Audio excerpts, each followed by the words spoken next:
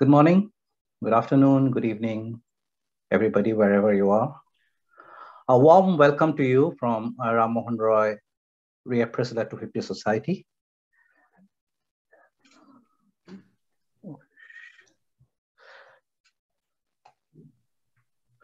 So today uh, we are having a webinar on Ram Mohan. So the topic for today is Sati, between advocate and opponent. So we have two very nice speakers over here. So, uh, and today our host would be Professor Rosinka Chaudhuri, who would be chair. I'm handing it over to Professor Rosinka Chaudhuri to carry on the meeting. Thank you so much, Amit. So welcome everybody to the monthly seminar on Ram Roy, organized, as Amit said, by the Ram Roy Reappraisal at 250 Society. Uh, we've been uh, organizing these seminars in this year leading up to the 250th year of his birth. Um, and the objective has been really to help us to reevaluate and remember the astonishing and invaluable contribution that Raja Rammohun Roy made to our existence as modern Indians. Um, and we've been very lucky in having some of the most distinguished scholars in the field accept our invitation to speak on Ram Mohan. And no doubt this is facilitated by the forced recourse to online modes of meeting due to the pandemic, one of the very, very few good things to have come out of our experience of it. Uh, because starting from May 2021, we've had speakers uh, as varied as Rudrangshu Mukherjee, Faisal Devji, Lynn Zastoupil, Dermot Killingley, and Brian Hatcher.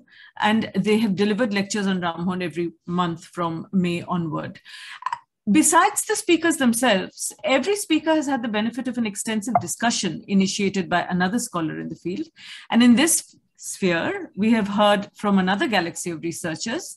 Um, and uh, some of the names in this uh, uh, field include uh, Michael Fisher, Amiya Sen, Rahul Govind, Sudipta Sen, and Milinda Banerjee. Um, videos of our previous events are available on the YouTube site of the Brahmo Samaj, uh, and Amit can uh, sort of provide details of that if uh, necessary, right, on, on, on chat.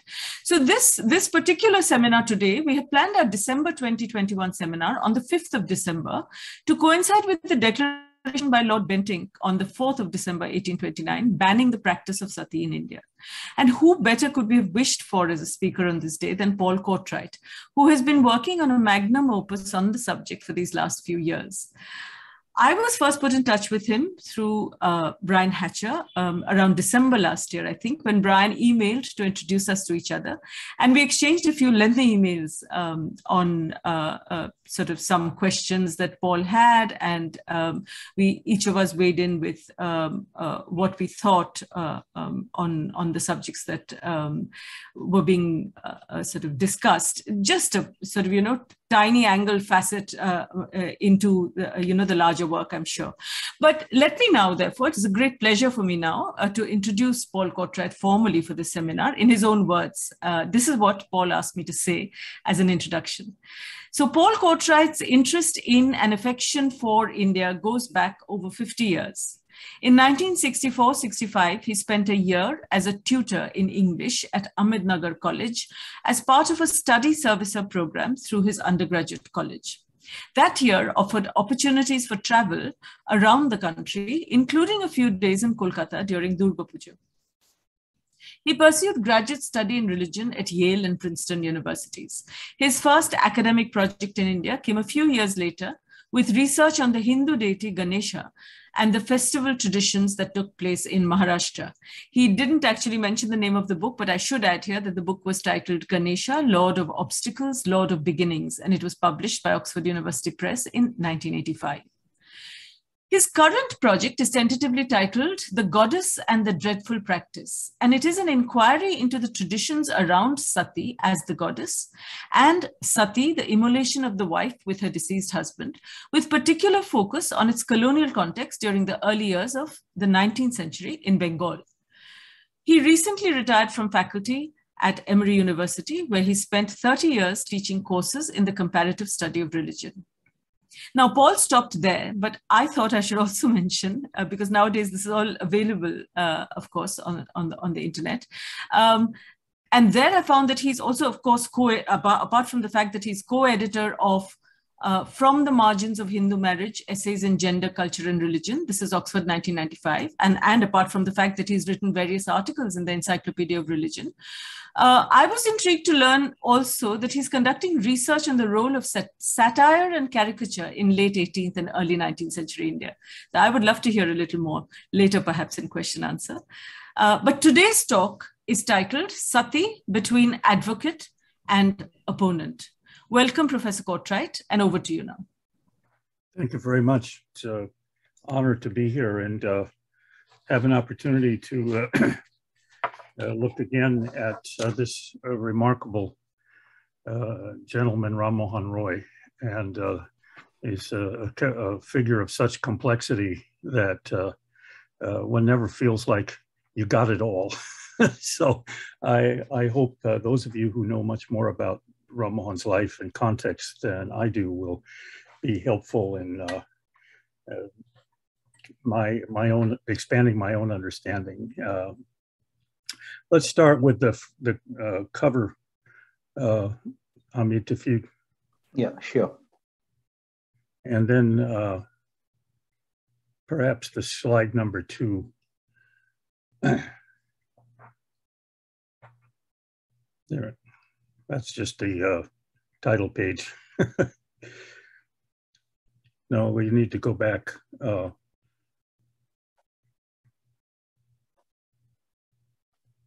there, yeah. The uh, one of the things about the the whole phenomenon of sati that continues to strike me is the the, the sort of polarities on the on the image on the left, which is actually from Rajasthan, but uh, shows uh, uh, the uh, the goddess uh, Sati as as sort of being in charge of of this convergence of the what I am thinking is the the long tradition of the of Vedic fire sacrifice on the one hand, and the goddess tradition on the other, and they are sort of fused together uh, in this icon. Uh, the one on the right uh, is uh, uh, represents the, um, the colonial perspective, at least the, and, and, we will have another example of that in a subsequent slide. But I want to begin with the next one. Um, the next uh, image. There we go.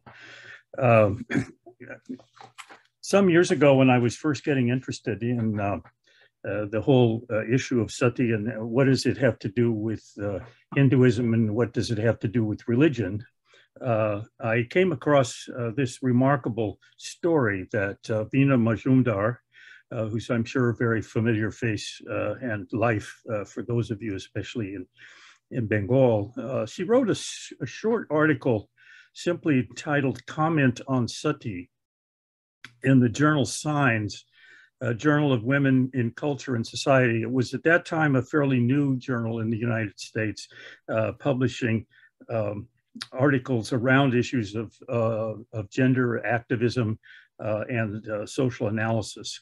So she published this uh, short piece in 1978 and she tells this story about her family.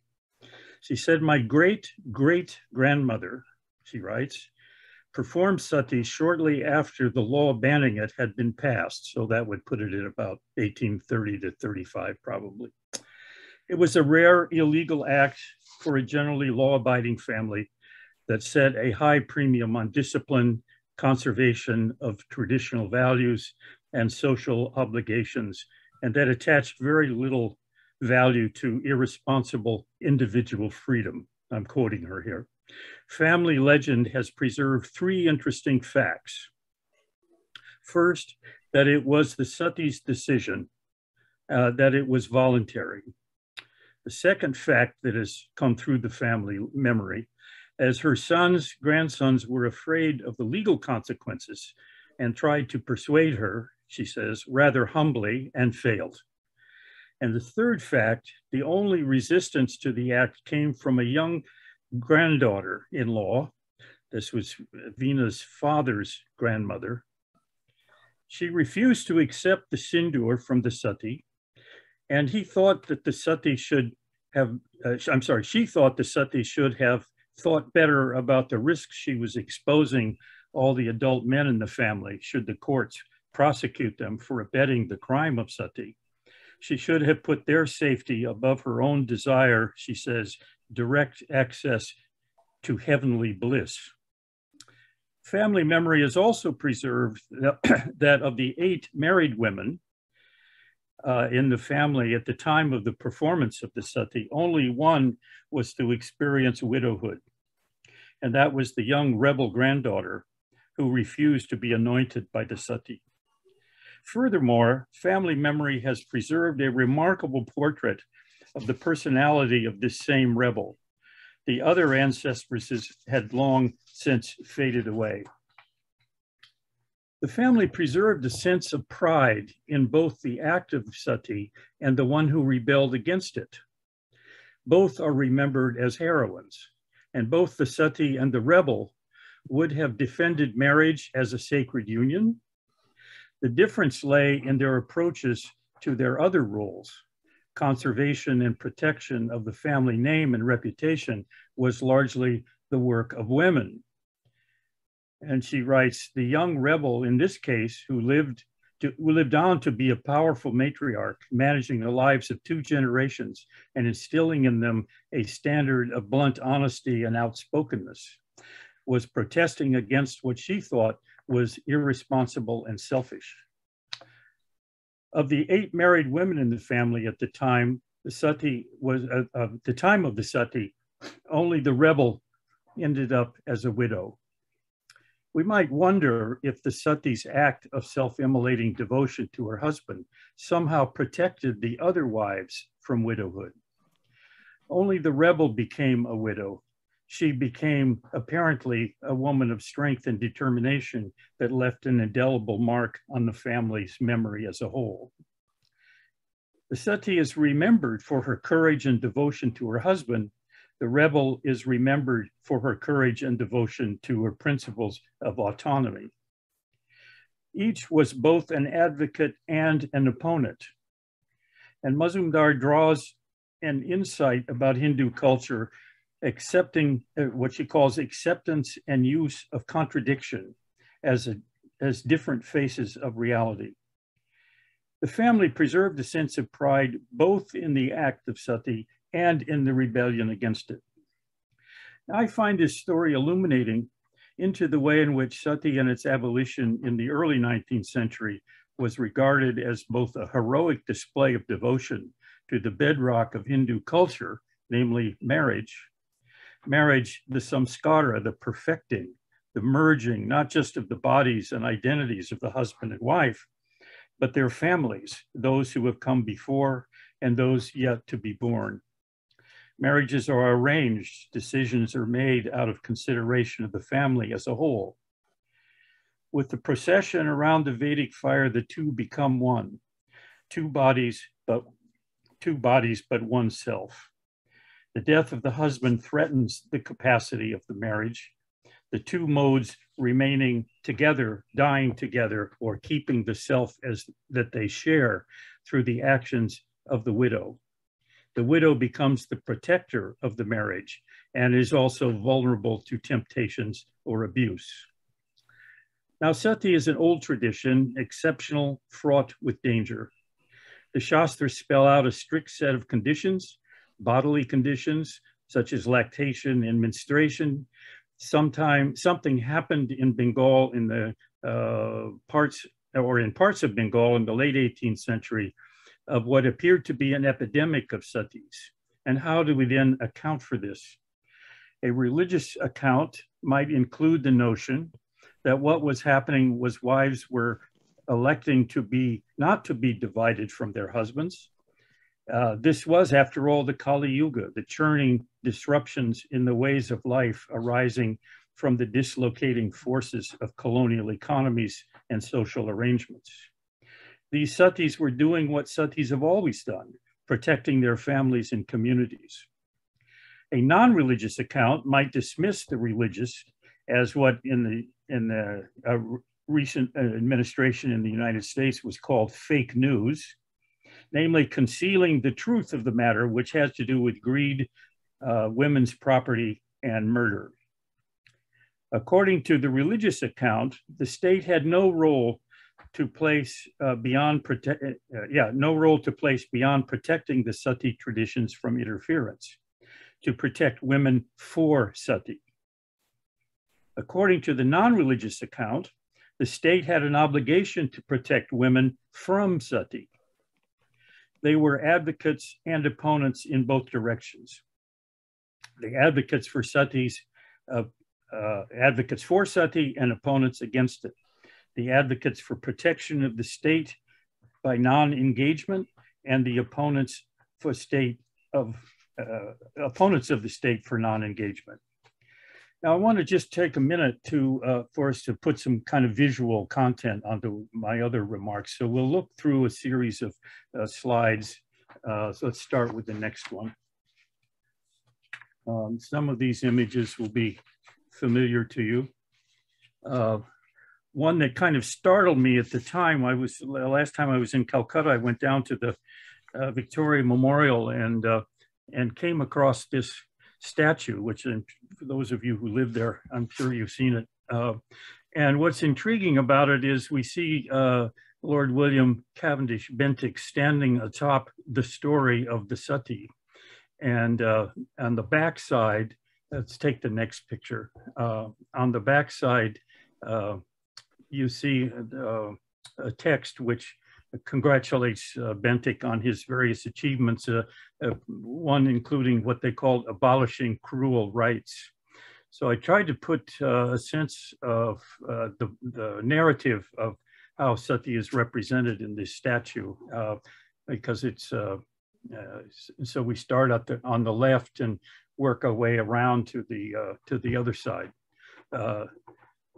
I'm curious to know what uh, local Calcuttans uh, make out of this or to what extent it is uh, an item of any interest or notice.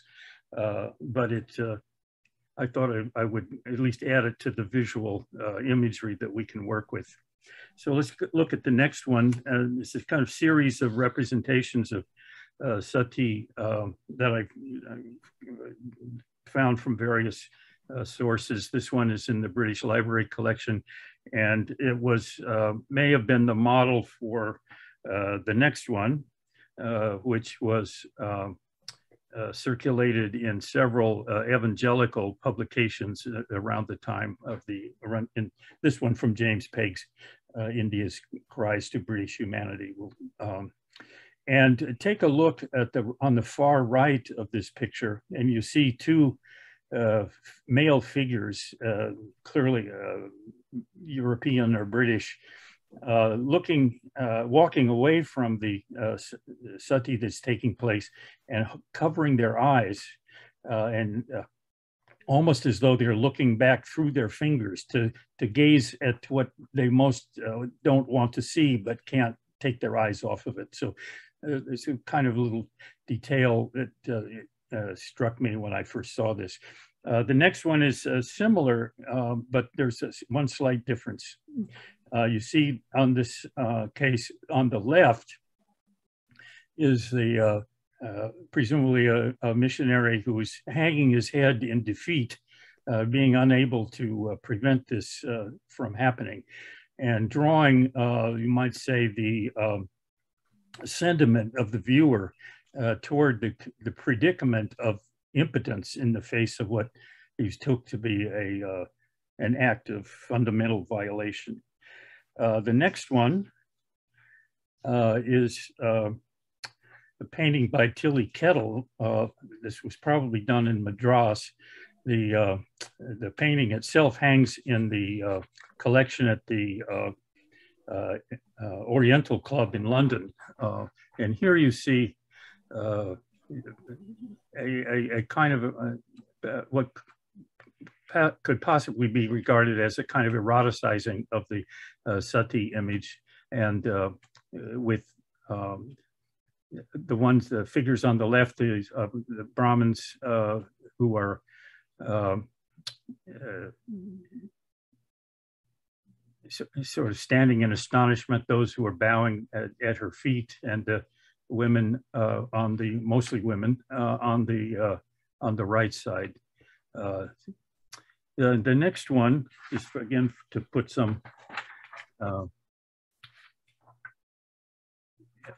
uh, is again I have somewhere here I think a this, this one by, oh, here we go.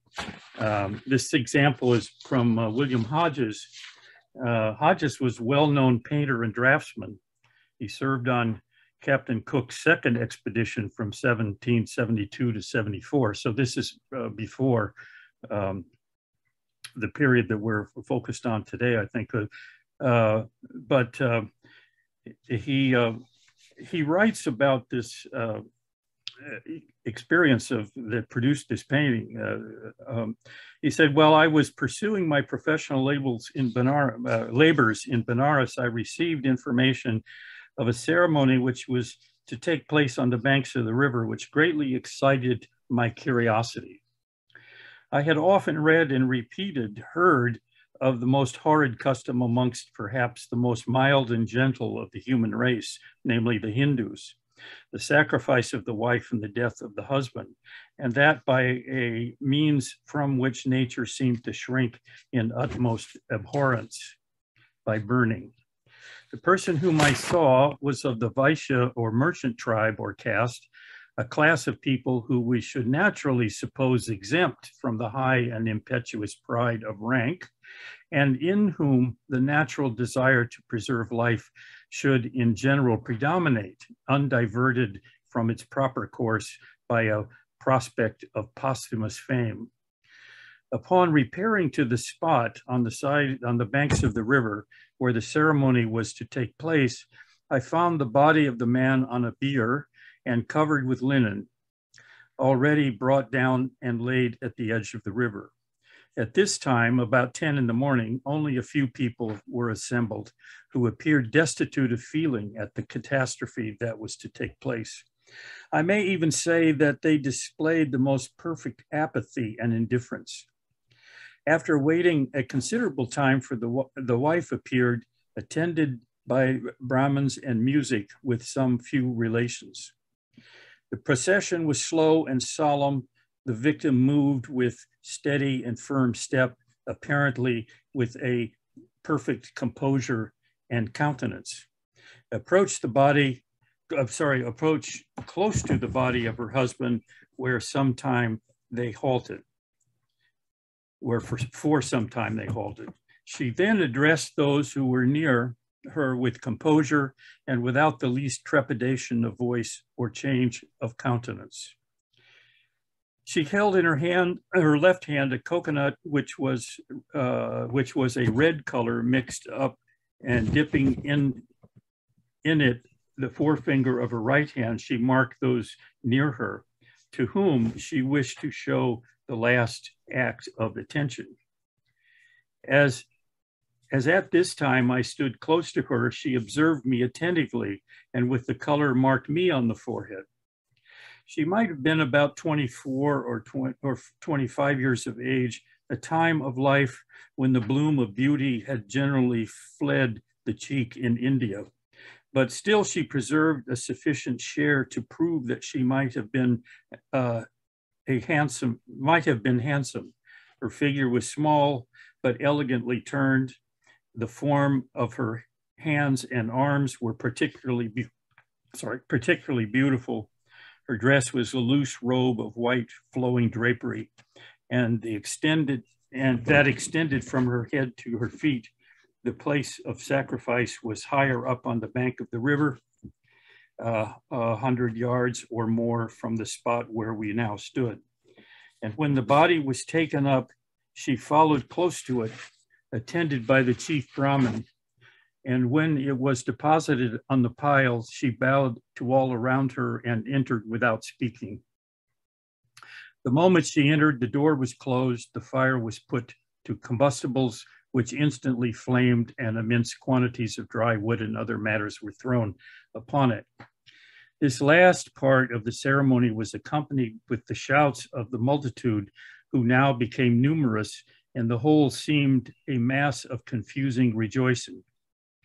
For my part, I felt myself actuated by very different sentiments. The event that I had been witness to, as such, that the minutest circumstances attending it could not be erased from my memory. And when the melancholy which had overwhelmed me was somewhat abated, I made a drawing of the subject from a picture since painted. Uh, the annexed plate was engraved. There is apparently a painting uh, from which this uh, engraved uh, in, engraved uh, image was uh, was taken. The painting is apparently is no longer. We don't know where it is. It's not.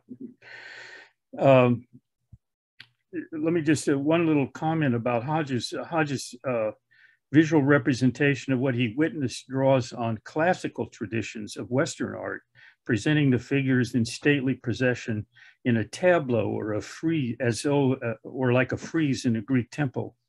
The wife seems self-possessed and dignified, as do the priests and others behind her. He chooses to depict the solemn moment before she enters the pyre, rather than of the immolation itself, as we saw in the uh, more in the missionary uh, images.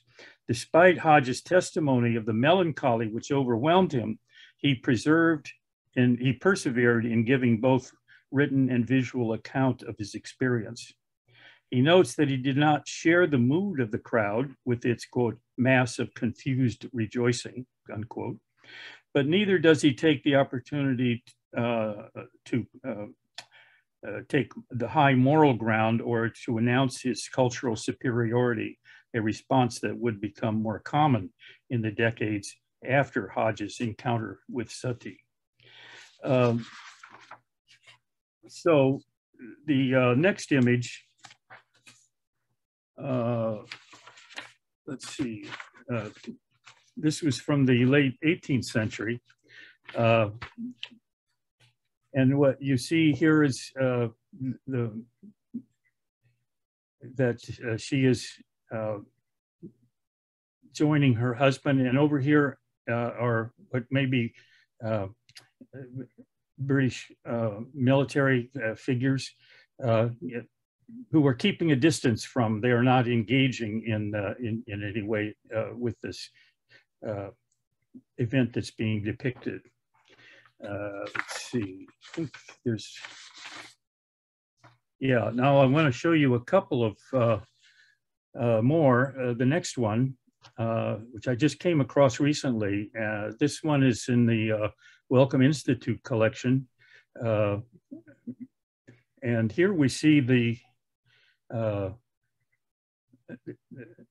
the figure, uh, the the act of of immolation is taking place, uh, but the sati herself is is looking uh, doesn't seem to be touched by the fire. She's looking uh, straight out at at the viewer, and the the next one is actually, I think, a, a, a artistically a, more complete uh, and better image. This is in the British Library collection. And here again, uh, we see this sort of, uh, we see the, the sacred river. Uh, so we're actually, as viewers, we're actually standing in the rivers, you might say, uh, looking on the riverbank as this uh, sati is taking place.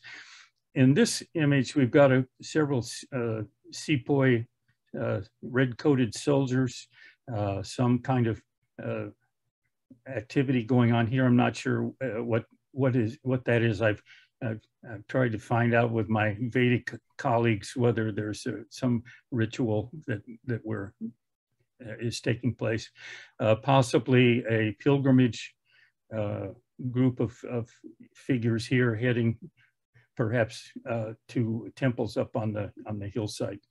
Um, Okay, we'll go one more. No, this uh, for those of us who have not been there uh, and don't live in Kolkata, uh, this is Ram Mohan Roy's house, uh, which has been uh, masterfully turned into a museum. Uh, I'm looking forward to to visiting that when when I when when the virus will abate and we'll all be able to travel again. Uh, and then I'll just take one more for now. Um, and uh, these are, this is my collection of uh, some of the uh, major figures I think that uh, this uh, the Sati discourse would need to include. We have, of course, Ram Mohan in the center. this is a painting of him, I think, before he went to Britain. and then we have Colebrooke, who wrote the first kind of textual uh, essay on sati. Uh, and then um, here we have um, uh, William Carey and his pundit, perhaps Mrityunjaya. here we have Ward, William Ward, baptizing in the in the uh, Hooghly River. Uh, Bentinck, of course. This is uh, H.H. H. Wilson. over here we have Radhakant Deb, and down here, uh, Derozio and Charles Grant, uh, who's uh, uh wrote a, a, a, very important book uh, on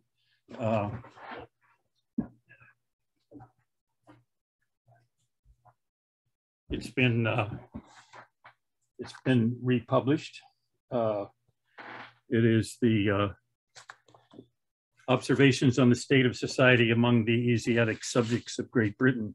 Uh, and, and Grant is, was a Scotsman uh, and had uh, uh constructed a uh, image of uh, Indians, especially Bengalis, because he was based in, in Calcutta for much of his career in India. Then he ultimately became a chairman of the board of the East India Company.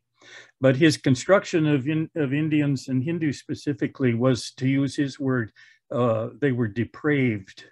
Uh, and so it's, uh, depravity can be both uh, economic uh, as uh, impoverishment, or it can be a moral category. and I think for, for Grant, both of those would have applied to his construction of, of, of Indians, which is a very negative one. And uh, was taking place around the time that the, uh, the Orientalist vision uh, was uh, with uh, William Jones and others, including Wilson certainly, uh, was cr creating a much more, more positive notion of, of, at least of ancient Indian culture.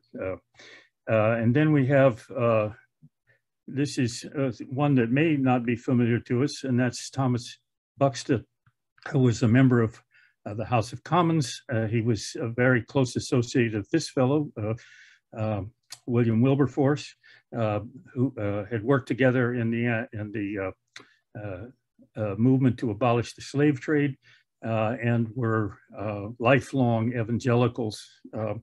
Uh, and Buxton is, was the one who really had the House of Commons release uh, what we think of now called the parliamentary papers. That is the, the reports and documentation uh, of uh, uh the years from about what 1818 to 1829 uh, of uh, the the satis that were taking place in in the districts that the British had some kind of supervision of. I want to just take one, take the next one, and then we'll we uh, and this is a page out of their reports. Uh, and what uh, what I think is is striking about this these parliamentary papers is is the emergence of quantitative knowledge.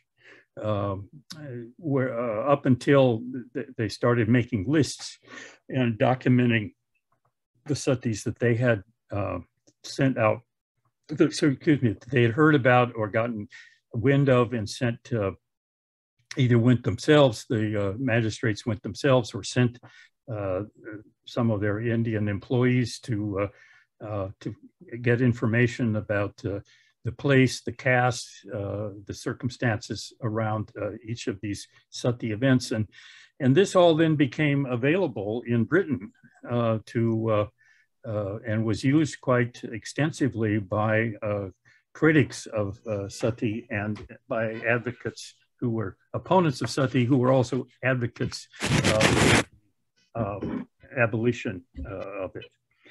Um, so that's the visual part.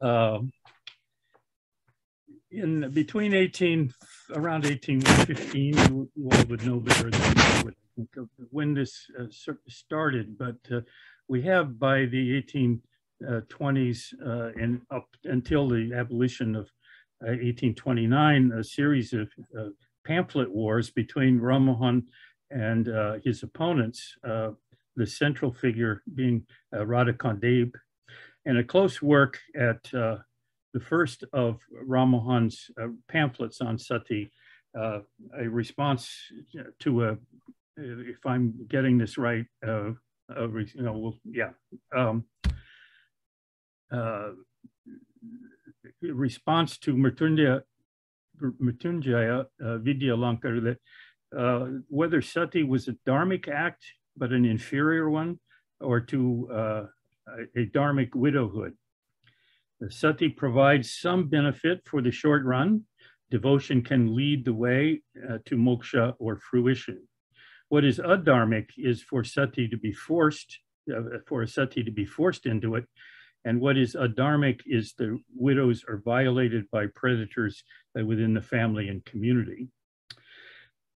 So the uh, the first text that uh, um, well, the really the only of the of, uh, of Ramo, I mean of uh, yeah Rammohun's text um, is in, the title is translation of a conference between an advocate for and an opponent of the practice of burning widows alive.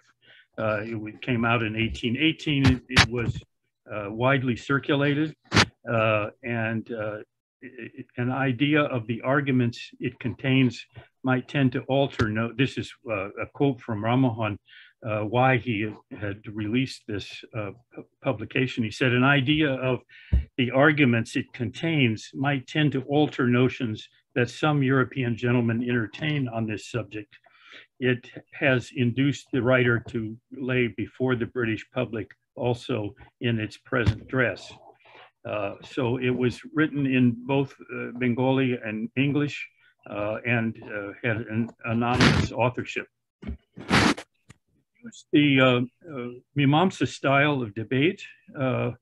An advocate for sati is an advocacy for the trustworthiness of tradition, protecting the opportunity for wives who seek to remain with their husbands in joint immolation or with uh, consummation. Uh, uh, versus an opponent for whom sati is actually suicide, which is forbidden in the Shastras, and quote, by every race of men, unquote. Uh, in other words, it is both specific to Hindu and universal. That, that is, suicide is both, has its specific Hindu form, but it's also a universal, uh, held uh, uh, critical, uh, critically universal. Uh, so for the advocate, the, sati is, is false. Um, and uh, no, I'm sorry, the advocate uh, takes the position that the opponent's view is false. It, it is not forbidden in the Shastras, and there is a long string of quotations from various Shastras, Puranas, and Nibandhas uh, that are uh, sort of listed one after the other. The opponent then takes the view, yes, there are quotations in the Shastras, but they are of inferior authority.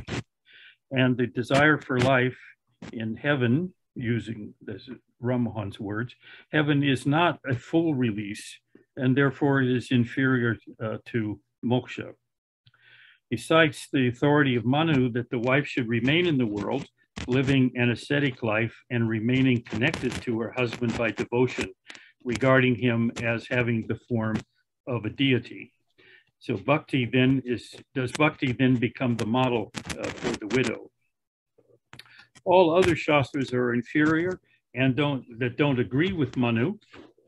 Uh, and uh, Manu actually makes no reference uh, whatsoever to sati. Uh, so what are we to make of Manu's silence on Sahagamana as an alternative of equal or greater value?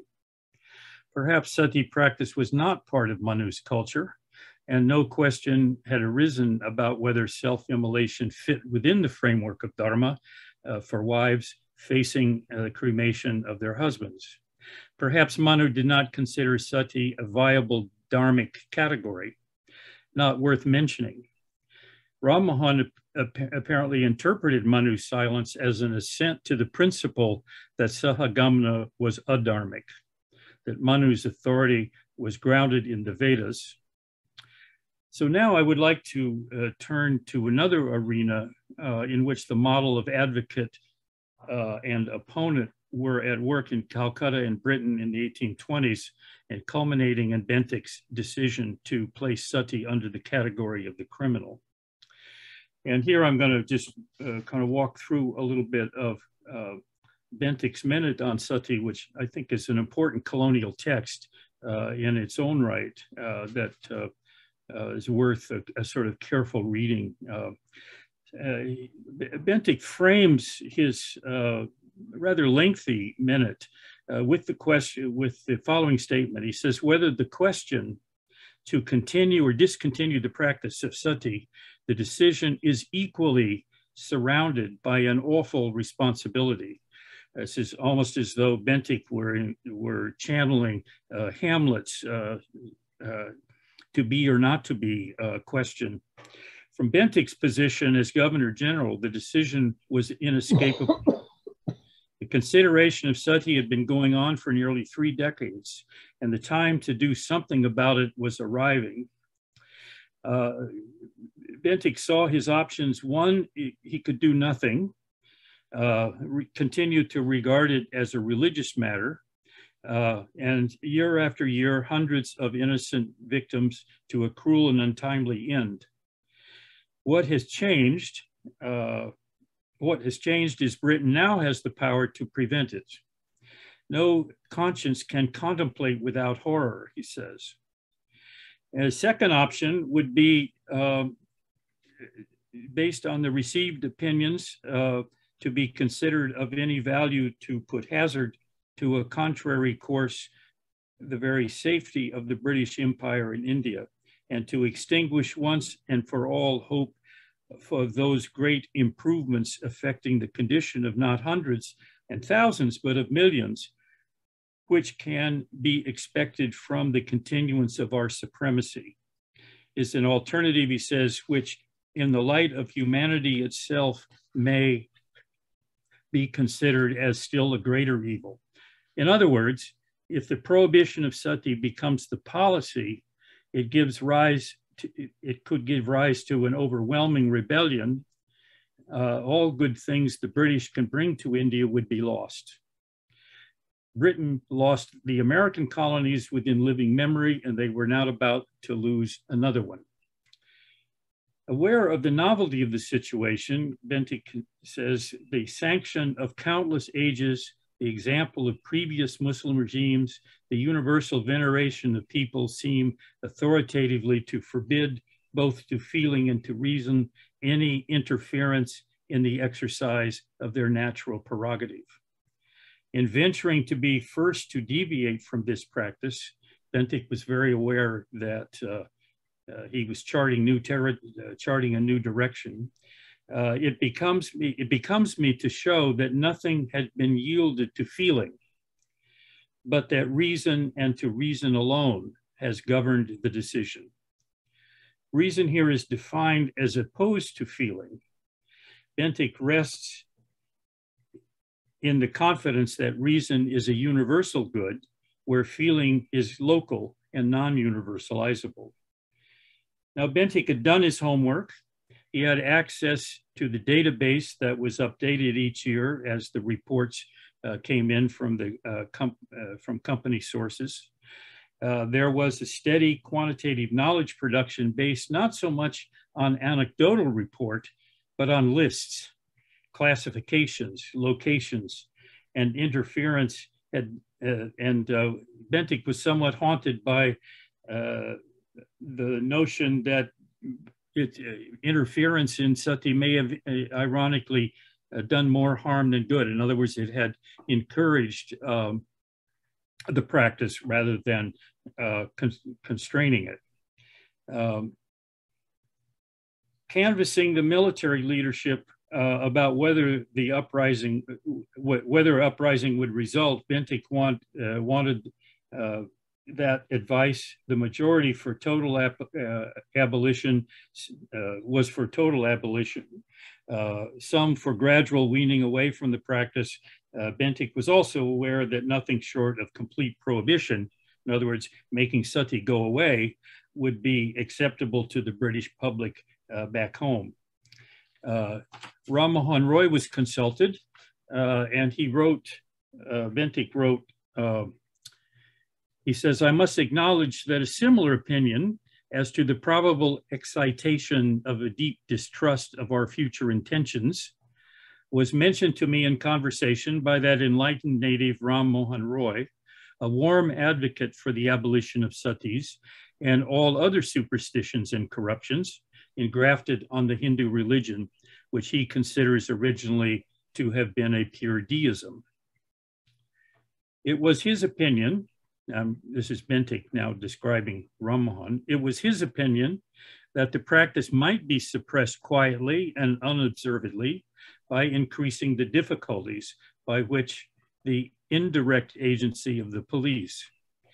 He apprehended that any public enactment would give rise to general apprehension that the reason, uh, with the reason being that the English were, when the English were contending for power, they deemed it politic to allow universal toleration and to respect our religion.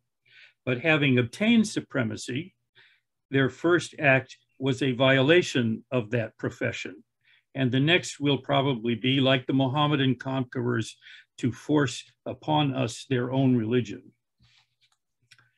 Um, let me turn now to uh, the Orthodox Party's uh, uh, petition uh, to Bentinck. And, and here we get some insight into what they felt was uh, at stake for them. About four weeks after Bentinck released his minute on sati, he received a petition from a number of prominent native gentlemen, including Radhakant and Bhabani Charan Bandyopadhyay. Uh, Bentinck received them in the council chamber of Government House. Certain position, certain persons taking upon them, and here's the uh, their petition, and uh, presumably this is a reference to uh, Ram Mohan uh, the petition says, quote, certain persons taking upon themselves to represent the opinions and feelings of the Hindu inhabitants of Calcutta. These opinions and feelings, the petition asserted, have been misrepresented and that Bentinck is about to put a stop to the practice of performing satis and interference with the religion and custom of the Hindus which we most earnestly deprecate and cannot view without serious alarm. So in other words, their, their position is that Ram Mohan's claims to represent Hindus is false and the uh, Orthodox party should be understood to speak for all Hindus. And they continue, the text continues, from time immemorial, and here Hinduism is standing outside of historical time. So from time immemorial, the Hindu religion is founded, like all religions, on usage and precept, each sacred to the other. From the uh, sanction of immemorial practice, widows prefer of their own accord and pleasure, and for the benefit of their husbands' souls, and for their own, the sacrifice of self-immolation which is not merely a sacred, and it's uh, emphasized in the original text, the sacred duty, but a high privilege of her who sincerely believes in the doctrines of their religion. And that any interference, not only an unjust tolerant and tolerant dict, uh, dictation of matters of conscience, but is likely wholly to fail in procuring the end proposed. In other words, uh, even if uh, Bentinck does abolish sati, it won't it won't work. It will sati will continue to take place despite uh, uh colonial authority. The position was putting on the table the cat a category, the wife who exercises her own agency to end her life together with her husband She does this to benefit both her husband and herself and their extended families. The previous Muslim regimes never attempted to prohibit sati, and neither had any of Bentinck's predecessors as governors general. Indeed, it had been East India Company policy to regard native religion as a what I call a protected category. All the parties to the debate over sati, whether Orthodox or reformers or British uh, administrators or missionaries, all agreed that sati was religious. Whether it was false religion or inferior religion or a rare and transcendent moment, as the Orthodox regarded it, was the question.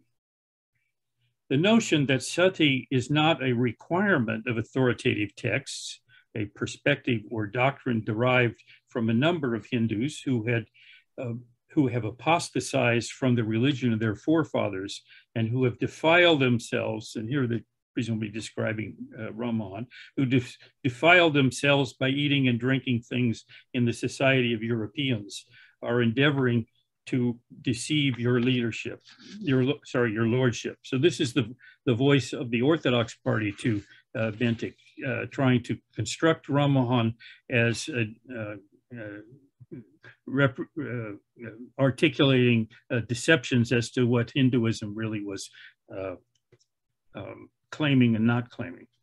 And it continues challenging um, Rammohun's authority uh, they, the text, uh, the petition continues, none but pundits and Brahmins and teachers of holy lives and known learning and authority ought to be consulted.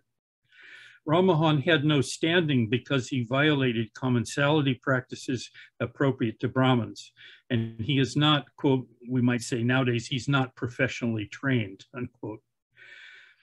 If the state seeks to put itself in the position of deciding what it that is what Hindus ought to believe and what they ought to reject, as is a tax, a tech, sorry, is a task that should be reviewed by those whose knowledge of the tradition was well grounded with full respect for that tradition. Anything short of that, um, the petition argued, will be regarded with horror and dismay throughout the company's dominions as a signal of a universal attack on all that we revere. Now, during Cornwallis administration, Christian missionaries, uh, they allege, secretly conveyed to the council some false and exaggerated accounts of the sati practice advan and advanced that it was not lawful. The question of Hindu women being thrown into the fire was for them fake news. On the concurrent report, of various gentlemen then in the civil service and in all instances which come under their cognizance, the widows went to the funeral piles of their heir, uh, of their deceased husband cheerfully, and these governors general were satisfied and no further interference was attempted. So how to explain this upsurge in satis? The courts could not account for it. Quote, even though it might perhaps have occurred to gentlemen of so much experience that the interference of government, even to this extent, with the practice was likely by drawing to it the attention to the native community of a greater degree than formerly to increase the number of votaries. In other words, if I'm understanding this, that uh, what was what what they were trying to suggest is that the representation of uh, these uh, satis as uh, uh forms of um, um, public murder were in fact uh, false information uh, that was reaching the authorities, the British authorities, and that to assume that those were, were accurate or correct would be a mistake. In other words, the rise of sati incidents was partly the consequence of government surveillance.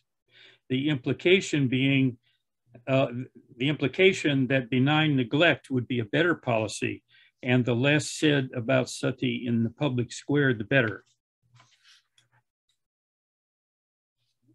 The, the predecessor, that is, Bentinck's predecessors had, according uh, to this Orthodox position, had never come to a resolution by which devout and conscientious Hindus must be um, must be placed in the most painful of all predicaments uh, and either forego in some degree their loyalty to government and disobey its or disobey its injunctions and violate the precepts of their religion. In other words, this put uh, a serious Hindu into a double bind situation. To pursue uh, uh, sati would be to remain an advocate for the practice and uh, would also be uh, to engage in illegal activity. So there was, it's a kind of no-win situation uh, either way they go. The Orthodox petitioners, and I've seen this uh, petition, the original of the petition, it's, it's in the University of Nottingham Library, and it's a very long scroll uh, written uh, with exquisite uh, calligraphic penmanship and uh, some 800 signatures, the, a handful of them in English and the rest in, in Bengali or in Devanagari. Um, the, uh, the Orthodox position placed high value on traditional practice and the authority of religious experts and the dangers to the state of attempting to micromanage the concremation in affirmation of the wife's authentic devotion and in full possession of her agency. The petition largely ignored the question that was foremost in Bentinck's and increasingly in the company's mind, namely uh, women being forced, tied down, and that any claim of it being religious was itself a deception to those inside or outside the Hindu community. Now, um, I want to turn now to um, uh, having a, sketched out a little bit, at least, of Bentinck's position uh, uh, and the uh, Orthodox response, uh, the concerns and anxieties that uh, that their text re, re, reveals. one of the people that Bentinck turned to for interpretation and uh, advice about how to proceed on the on the sati matter was the Orientalist uh, uh, Horace Hayman Wilson, and I want to uh, look again carefully at his response to Bentinck. It's a, it was a long letter uh, in which we we have a construction of, of Hinduism by a British scholar of um, of Indian culture and very much active in uh, the, the in the um, support of Hindu College and other emerging educational institutions. he was a close um, colleague of several of the uh, people who would also be uh, would identify themselves with the orthodox position that that I've sort of tried to summarize here. At the time the Sati controversy found its way to the desk of the Governor General in Council, Wilson was universally regarded as the leading scholar of Sanskrit literature. He had arrived in Calcutta in 1809, assigned to the Calcutta Mint, and under the mentoring of Henry Colebrooke, Wilson took to the study of Sanskrit and published a number of translations, a book of, on Sanskrit drama, a Sanskrit English dictionary, and other scholarly books and articles. In addition, he became involved in a number of educational projects, including the Calcutta School Book Society, uh, published a, uh, a, publishing venture that made inexpensive books in Indian languages available for students, uh, Hindu College, where the traditional Indian and Western subjects were taught, and an important advisory committee to the Governor General looking into the state of education in Bengal. The Wilson Bentinck exchange takes us into the worlds of two men coming from very different perspectives. Wilson was the seasoned India hand who had been in Calcutta continuously for nearly 20 years and was the most connected of any European with the leaders of the elite Calcutta Hindu community. He knew all of them, uh, the advocates and the opponents. He was a man of sober and quiet temperament he had a, was a leading figure among the so-called Orientalist camp in the India lobby and vigorously supported institutions and initiatives that brought Indians and Europeans together as colleagues in the study of India's literary, philosophical, and religious traditions. Wilson must have known that Bentinck was already had already made up his mind about the sati uh, question. Bentinck's association with the evangelicals in London was hardly a secret. There was a tone to Wilson's letter suggesting he knew he would have little or no success in persuading Bentinck of the potential long-range costs of state interference.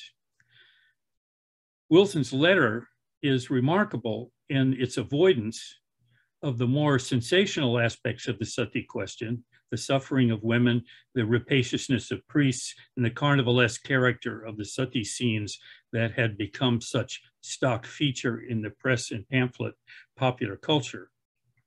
A close reading of Wilson's letters to, letter to Bentinck opens up for us a window into many of the issues involved. So on uh, November 25th of 1828, uh, uh, Bentinck receives Wilson's letter. He goes straight to the point. Uh, he says, my opinions, I'm quoting him here, he says, my opinions are adverse to any authoritative interference in the practice.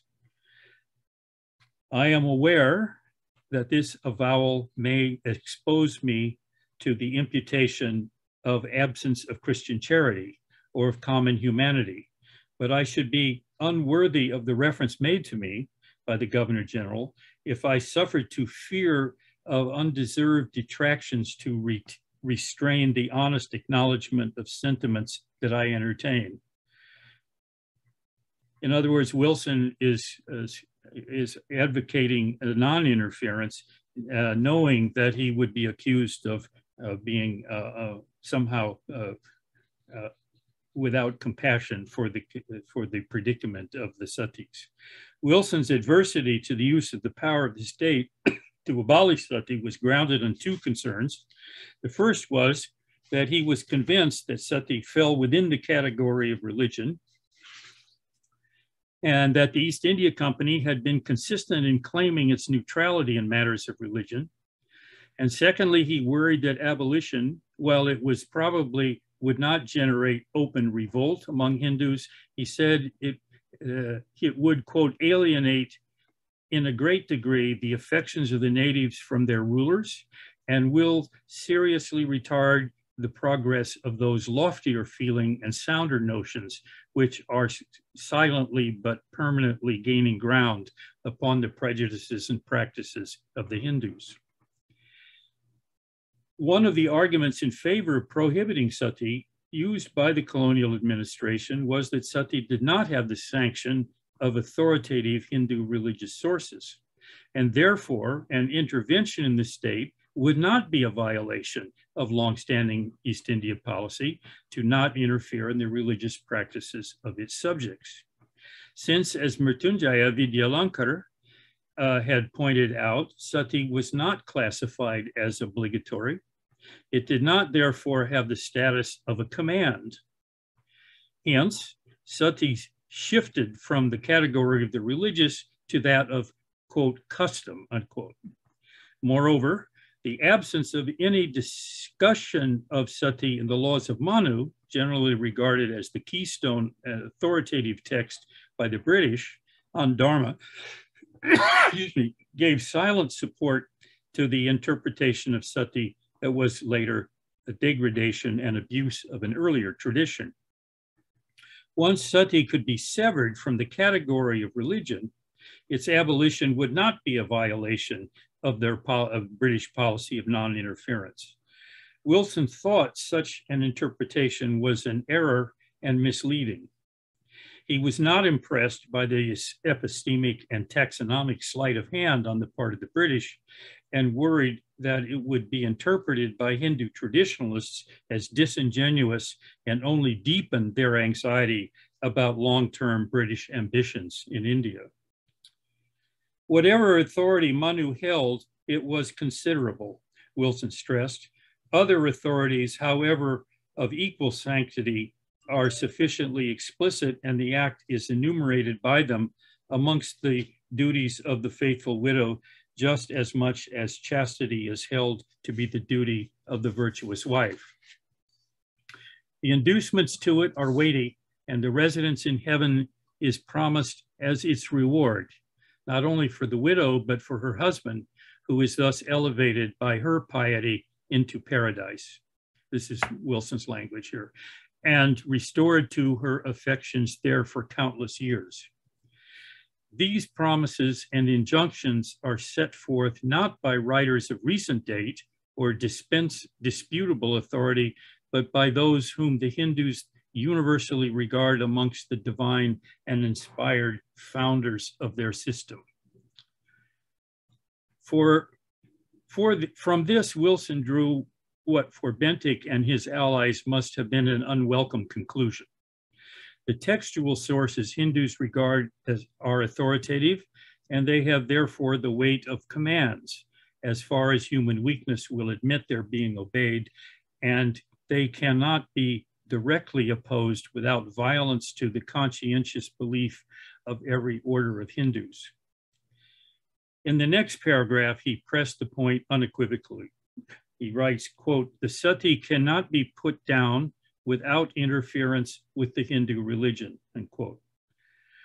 Whether sati could be abolished was for Wilson a separate question, one that he does not take up in his letter. Where he put the full weight of his authority was to remove any illusion on Bentinck's part that he would not be breaking with the long tradition on the part of Hindu East India Company, sorry, on the part of the East India Company of non-interference in Hindu religious practices. At this point, the letter Wilson shifts from analysis to advice. He said a safer and more manly mode of proceeding is to look at the matter fairly in the face than to endow to en, than to endeavor to persuade ourselves that we are not tampering with the Hindu faith. What we are uh, that we are doing nothing to shock the national creed, and that we have, in short, no pledges of our own to violate, and no opposition from the religious feelings of the natives of India to counter. Having said that, Wilson reassures Bentinck that the prohibition would not likely lead to open revolt, the anxiety that uh, led to much of Bentinck's uh, reflections on what to do. He anticipated rightly that petitions against the prohibition would follow, as they did, and he was not confident that the prohibition was even enforceable. Quote, the people will not regard the prohibition and satis will be attempted in spite of the law, unquote. Satis will be attempted, he argued, not without notice to the police, and the police or the police will be bribed. Indeed, for Wilson, if the state were serious about the prohibition, it needed to consider carefully how it would be implemented.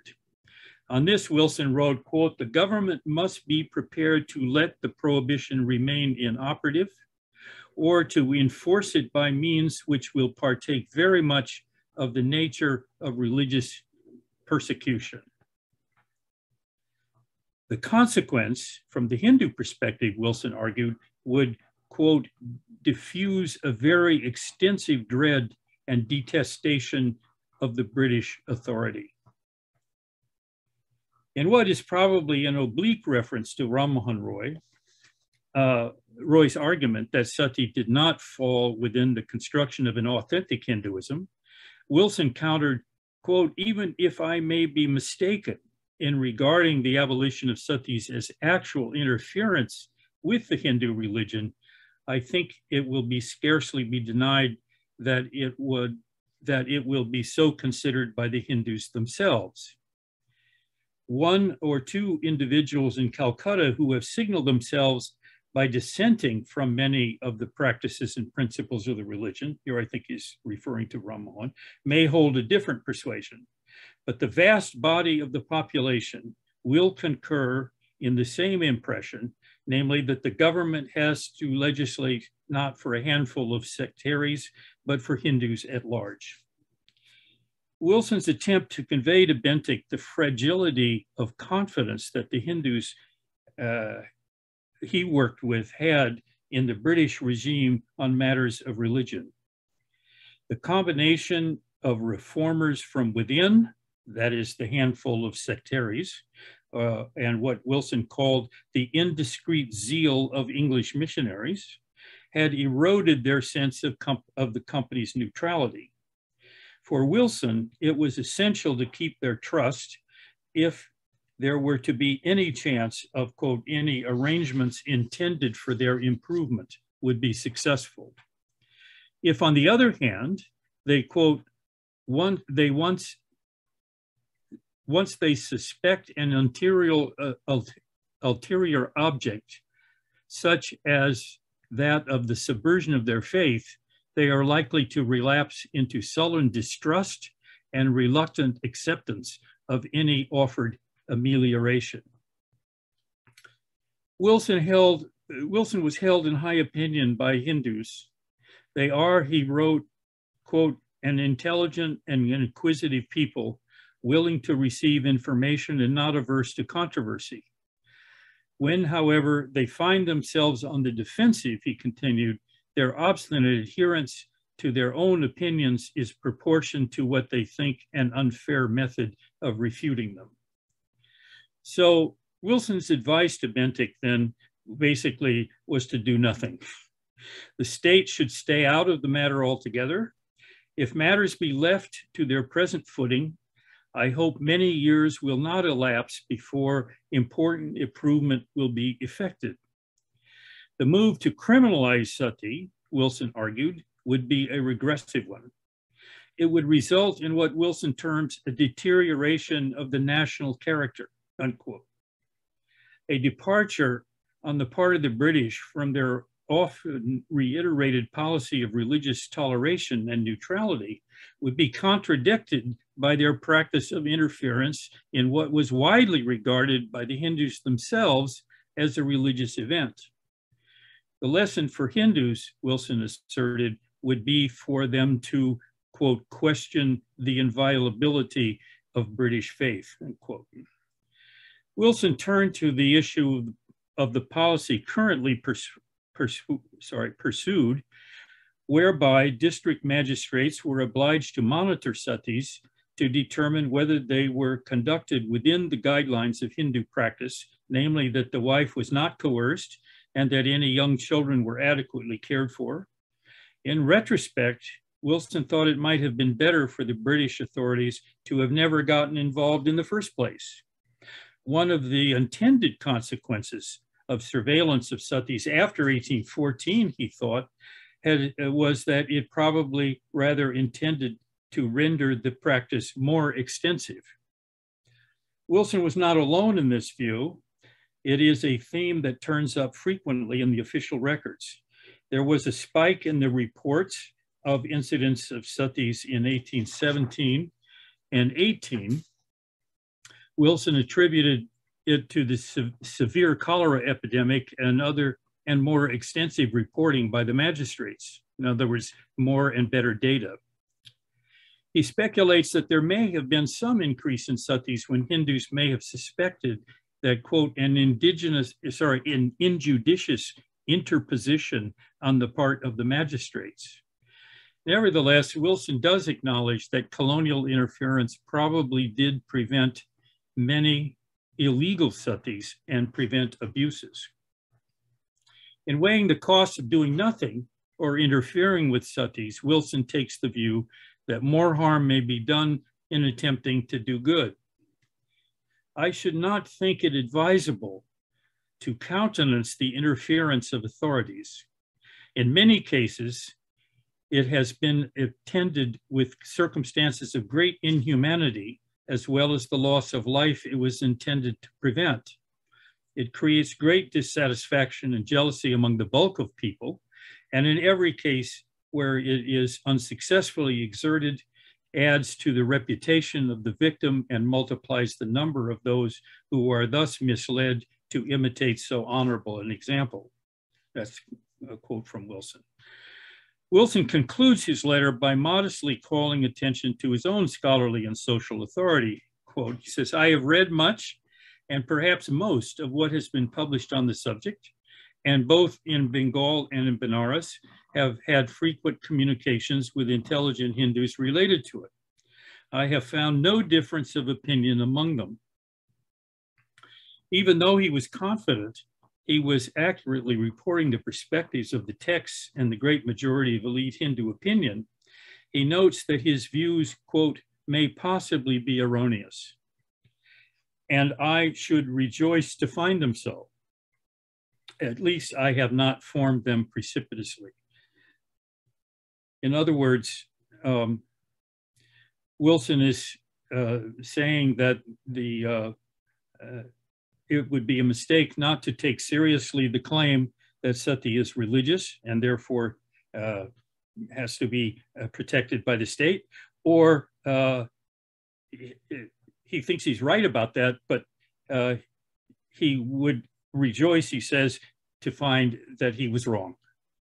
In the final uh, sentence, he notes in a similar mood, it is from these sources that my conclusions have been drawn I have only to regret that they are in opposition to my feelings.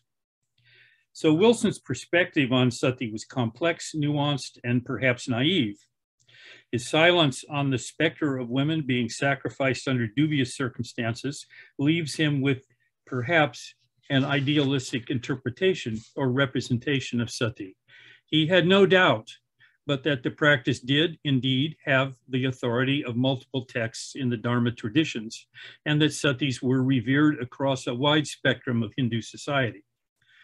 He finally did not endorse the practice, but he was convinced that interference of colonial authorities was counterproductive and contributed to an increase in the practice.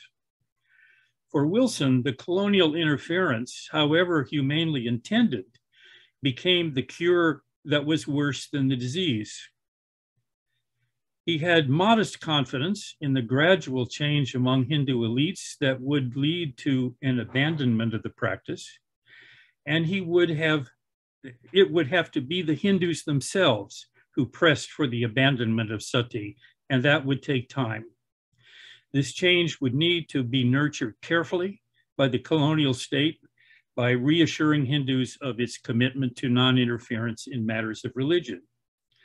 Under the present policy of surveillance and interference, some excesses may have been contained, but the larger and more amorphous process of Hindu suspicion of British intentions only served to push them into an increasingly defensive posture and a less critical embracing of their own most inhumane aspects in their own tradition.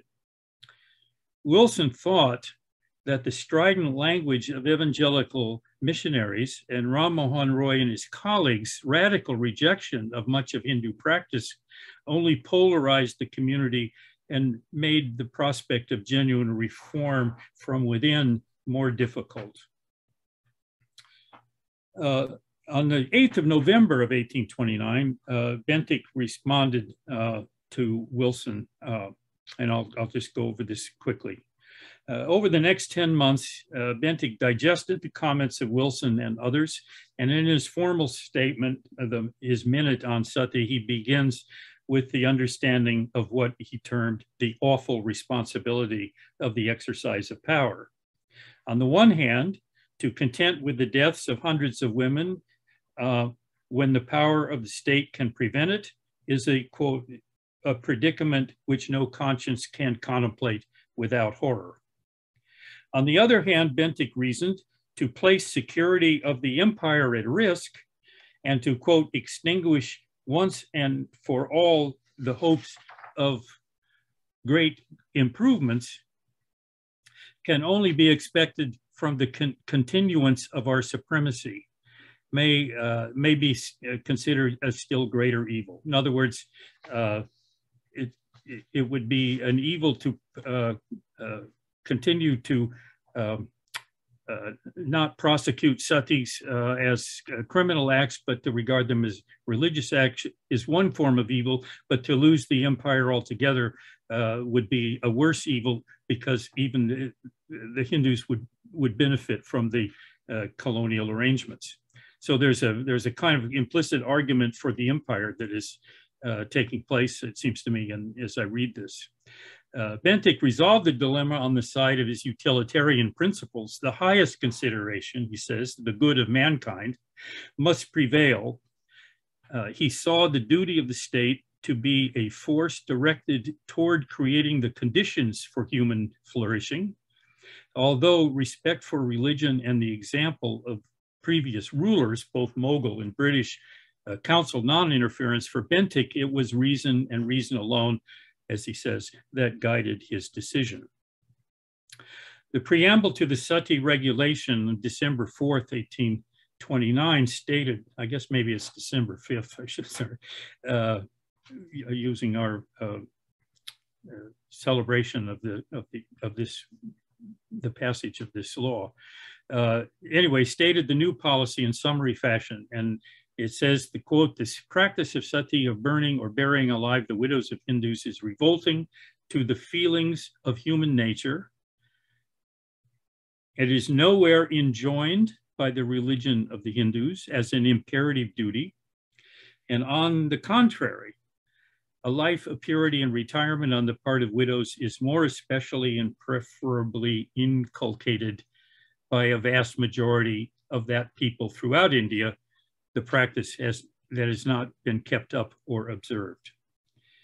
Uh, goes on at some length to sketch out the expansion of British power and the administrative infrastructure of the colonial state uh, that could make enforcement of the abolition of sati feasible in a way it would not have been even uh, recently as, his, as during his predecessors' administrations.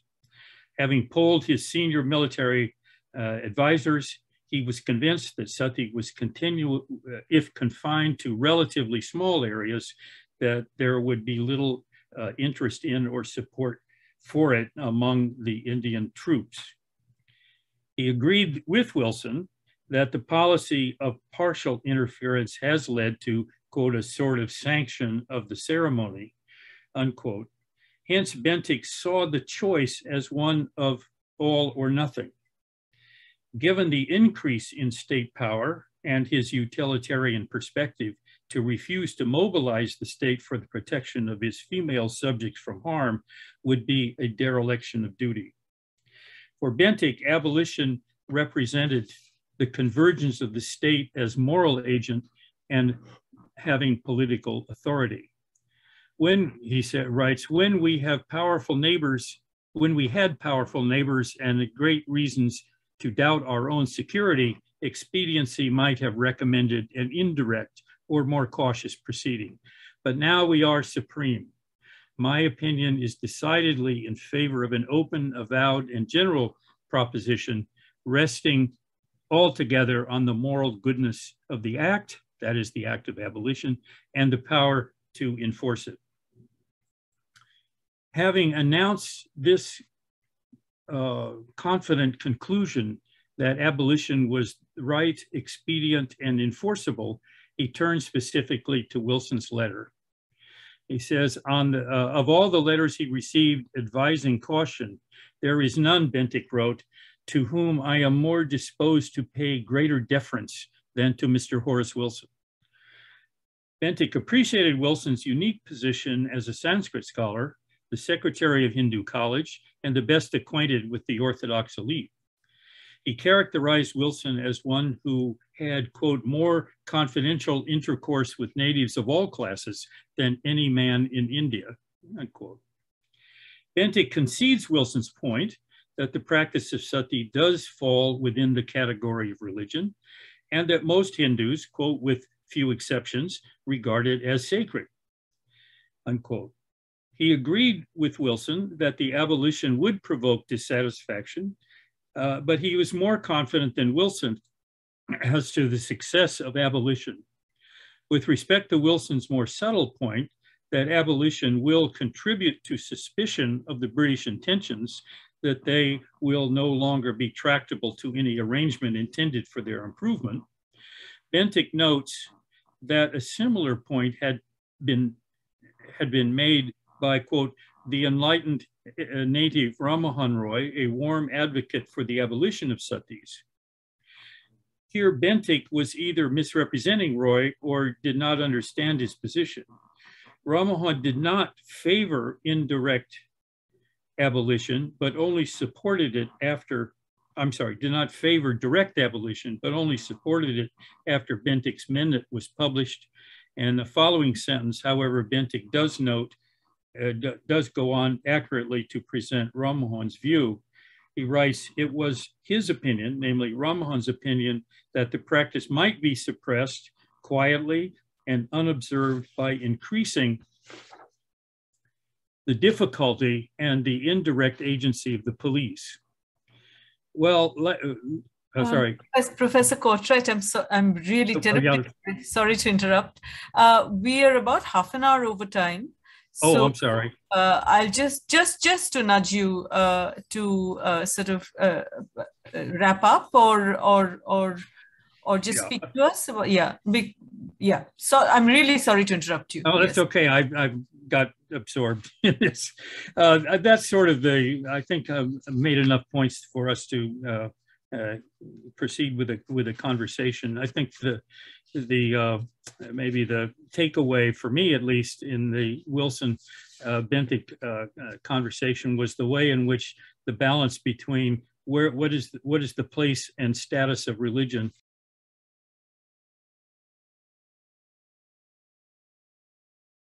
No, I'm sorry. Uh, uh, you've uh, muted yourself. Um, if you could just, yeah, just the last sentence.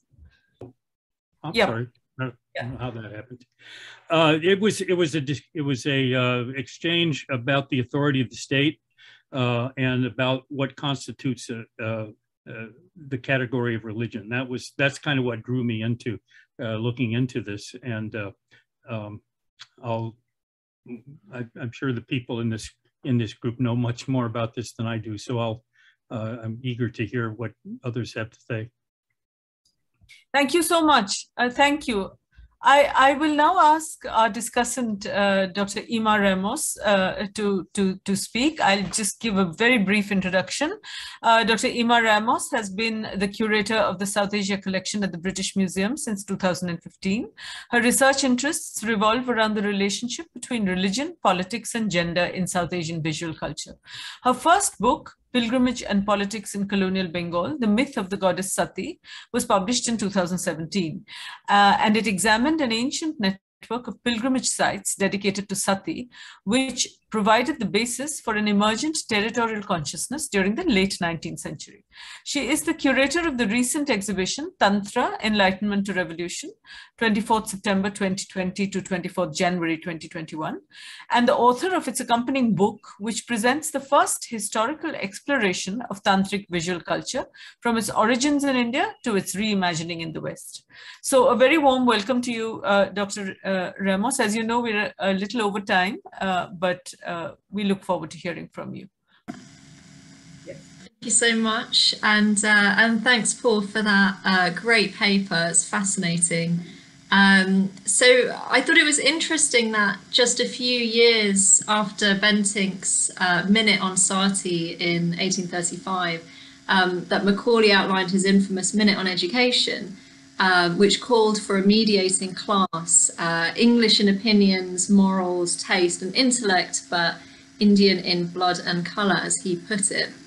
Uh, so this debate happens just as the older Orientalist project was being replaced by the Anglicist liberal imperialism of, of Mill, with whom Bentinck uh, closely identified. Um, and as an art historian, I was really struck by the images that Paul showed us representing Sati as a symbol of female victimhood and male barbarism, which becomes a crucial symbol under which to legitimize imperial rule and the civilizing mission. Uh, to justify and legitimize that mission, they promote this idea that they're saving Indian women from Indian men. But I found it interesting that this isn't explicitly rendered in the colonial images that we've seen. So you don't see the white man on the horse swooping in, um, but essentially that is what these images of pathos or suffering are trying to mobilize. They're trying to mobilize a certain affect, um, an affect that relates to the civilizing mission of the British. And uh, something interesting that happens in the late 19th century with very different kinds of renderings of sati by Bengali artists and writers who foreground Indian manhood itself in relation to a sacrificial female figurehead. And, um, and Paul and I thought it would be an idea to show some examples of these now very briefly. Um, I'll talk a, a, little about them for the next few minutes, and then after that, um, I have a couple of questions for Paul uh, before we take in questions from the audience. Uh, so I'm just going to share my screen quickly. Uh, one second. Okay, so hopefully you can see these slides. So as we know, the ritual of widow immolation was named after the Hindu goddess Sati. Uh, and Sati as a goddess rose to sudden prominence from the late 19th century as a personification of the subcontinent and an icon of heroic self-sacrifice. So I'm going to show a few examples of images that circulated in Bengal at this time, which evoked Sati as an icon of cultural crisis and territorial consciousness. These were produced in the colonial capital of Calcutta in the form of watercolour paintings and lithographs. In the context of Paul's paper, it's interesting to reflect on the reasons why the subject was chosen for illustration during the British occupation and how these images visually articulated the rhetoric of sacrifice for the motherland. According to myth, Sati's father, King Daksha, did not invite her husband Shiva to his yajna. Humiliated by this act of disrespect, Sati performed self-immolation. The distraught Shiva retrieved her body and began to dance with it in his arms across the cosmos. His grief, his grief risked the destruction of the world, so Vishnu, the god of preservation, threw his discus and cut Sati's body into pieces, which were scattered across the subcontinent. From around the 7th century onwards, texts start to refer to a network of Shaktipitas, or seats of power, that enshrine each piece of the goddess. Modern imaginings of the myth often focus on the detailed classification of these body parts and which temple or location they correspond to, as in this uh, contemporary popular print. According to Hindu belief, the Shaktipitas were animated by Sati's divine presence. Through her dismemberment, the Shakti or power in her body was distributed across the subcontinent, stressing her relationship to the earth. In the late 19th century, Bengali writers, artists, and intellectuals responded to the myth by reformulating and resurrecting her into a more powerful body. When a European schoolteacher told the Bengali writer Buddhadev Mukhopadhyay that, quote, patriotism was unknown to Hindus, Buddhadev would later note that the Sati myth showed that, quote, the entire motherland with its 52 places of pilgrimage is in truth the person of the deity. The dismemberment of Sati was further politicized when the revolutionary philosophies of the Swadeshi movement made their presence felt during the 1905 partition of Bengal this fragmentation of territory led to even greater need for a unified social body. Aurobindo Ghosh, one of the leaders of the movement, published a rousing 1908 article for the English language newspaper Vande Mataram entitled The Parable of Sati. In it, he reinterpreted the story in terms of the contemporary political struggle in India, with Sati representing the Indian nation and Shiva India's destiny. For now, their union had been frustrated, and I'll just read out a few sentences from this quote. He says, Sati had left her old body, and men said she was dead, but she was not dead, only withdrawn from the eyes of men. For Sati will be born again, in a better and more beautiful body. Sati shall wed Mahadeva, that the national life of India shall meet and possess its divine and mighty destiny. So here Sati becomes a symbol for national regeneration.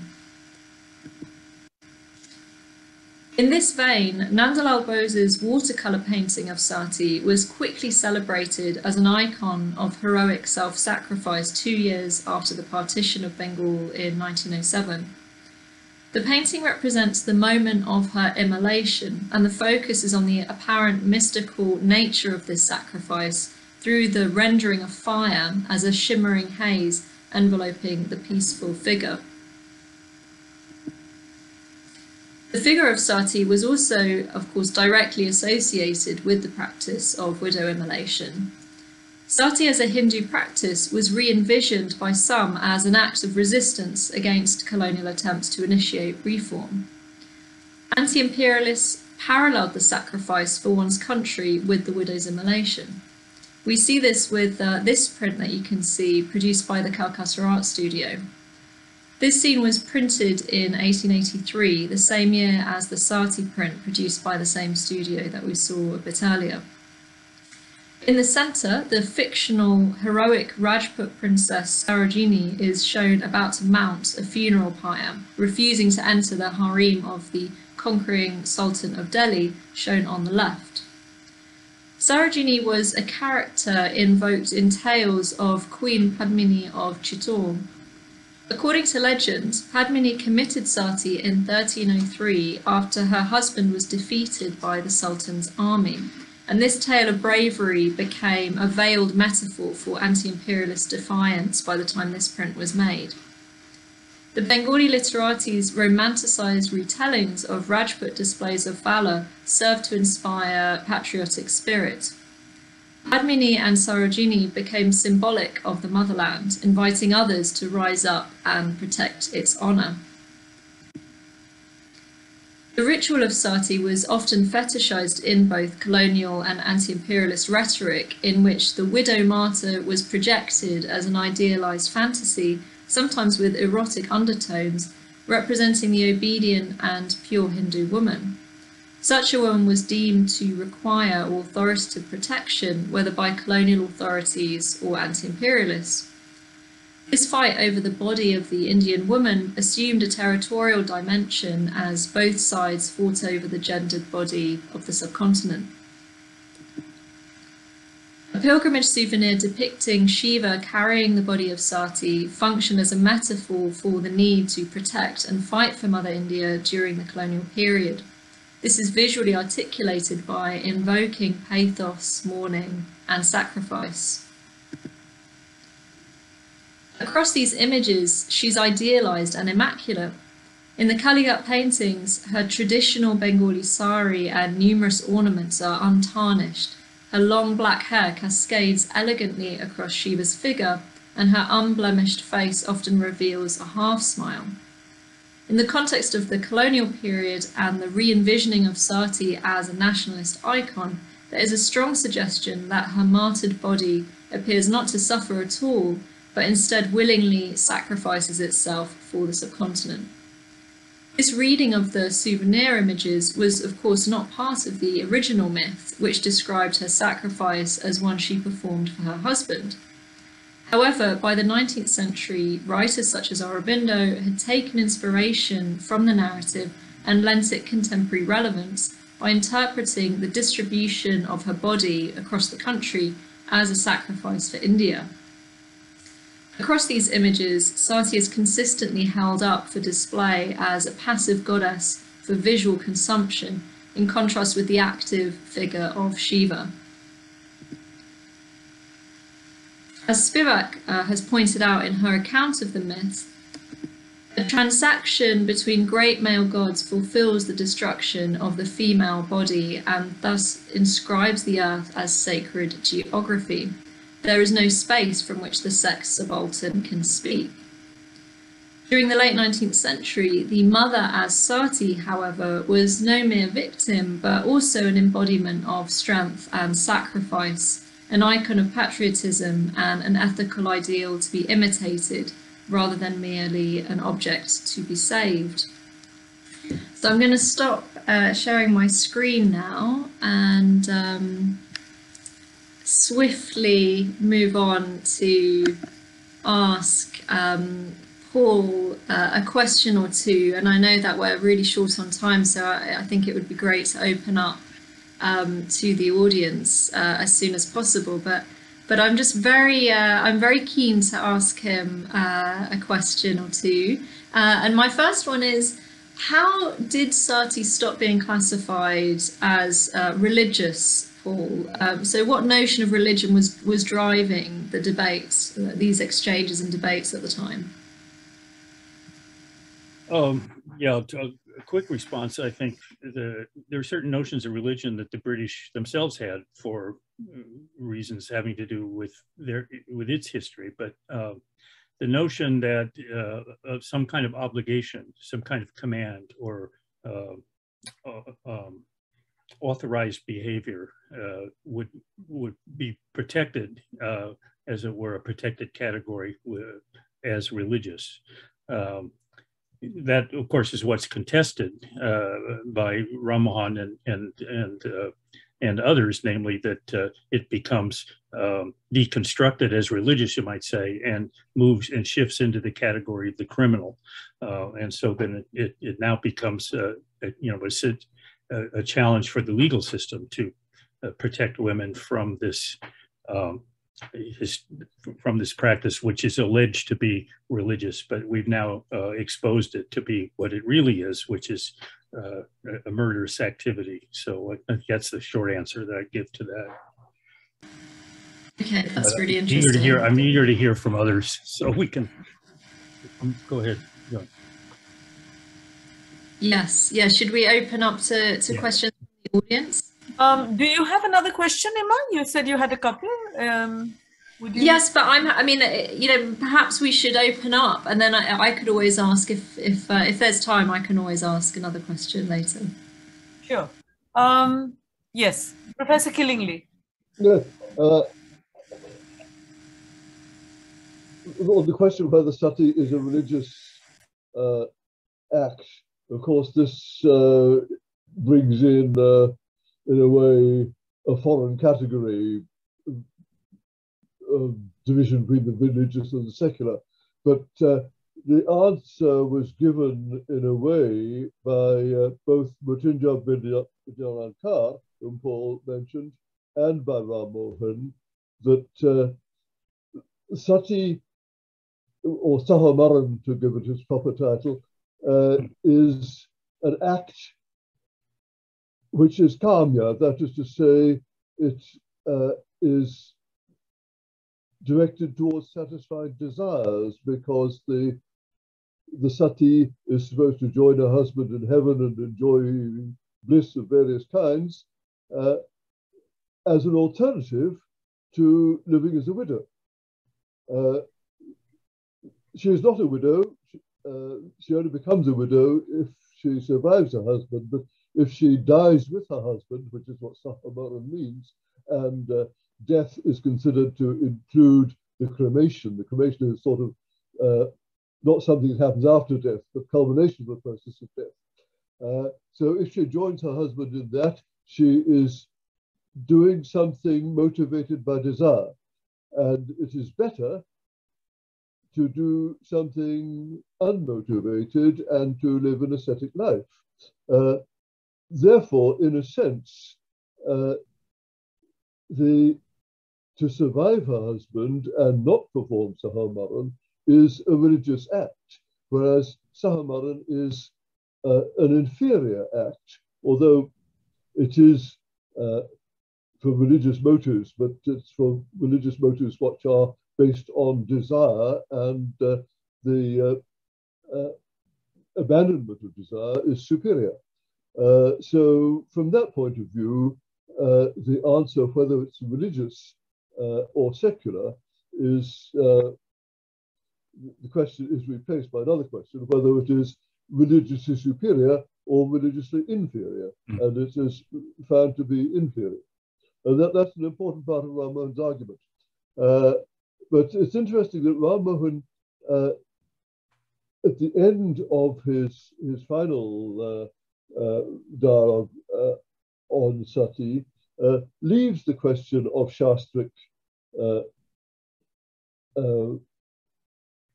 law and appeals to humanity on behalf of the Indian woman whom he represents as being uh, express, oppressed and exploited. Uh, and uh, he appeals not to Shastra, but to humanity. Uh, and that, that's all part of the argument. Yeah, that's very helpful. Um, I can see uh, Professor Zastoupil has his hand up. Uh, Lynn, do you want to go next? Uh, you you have to unmute you. Yes. Yeah. Uh, thank you. Um, fascinating uh, presentation. Uh, particularly, um, I've been working on H.H. H. Wilson recently, so mm. I was particularly interested to hear uh, the long and uh, very precise account of, of his views on that. first, I just want to start with a general comment. I don't know if you're aware, Paul, but um, Jörg Fisch's book, um, uh, he's a German, comes out of the German historical sociology tradition. I found his book, which the English translation has a terrible title, Immolating Women or Burning right. Women. the German title is really following into death.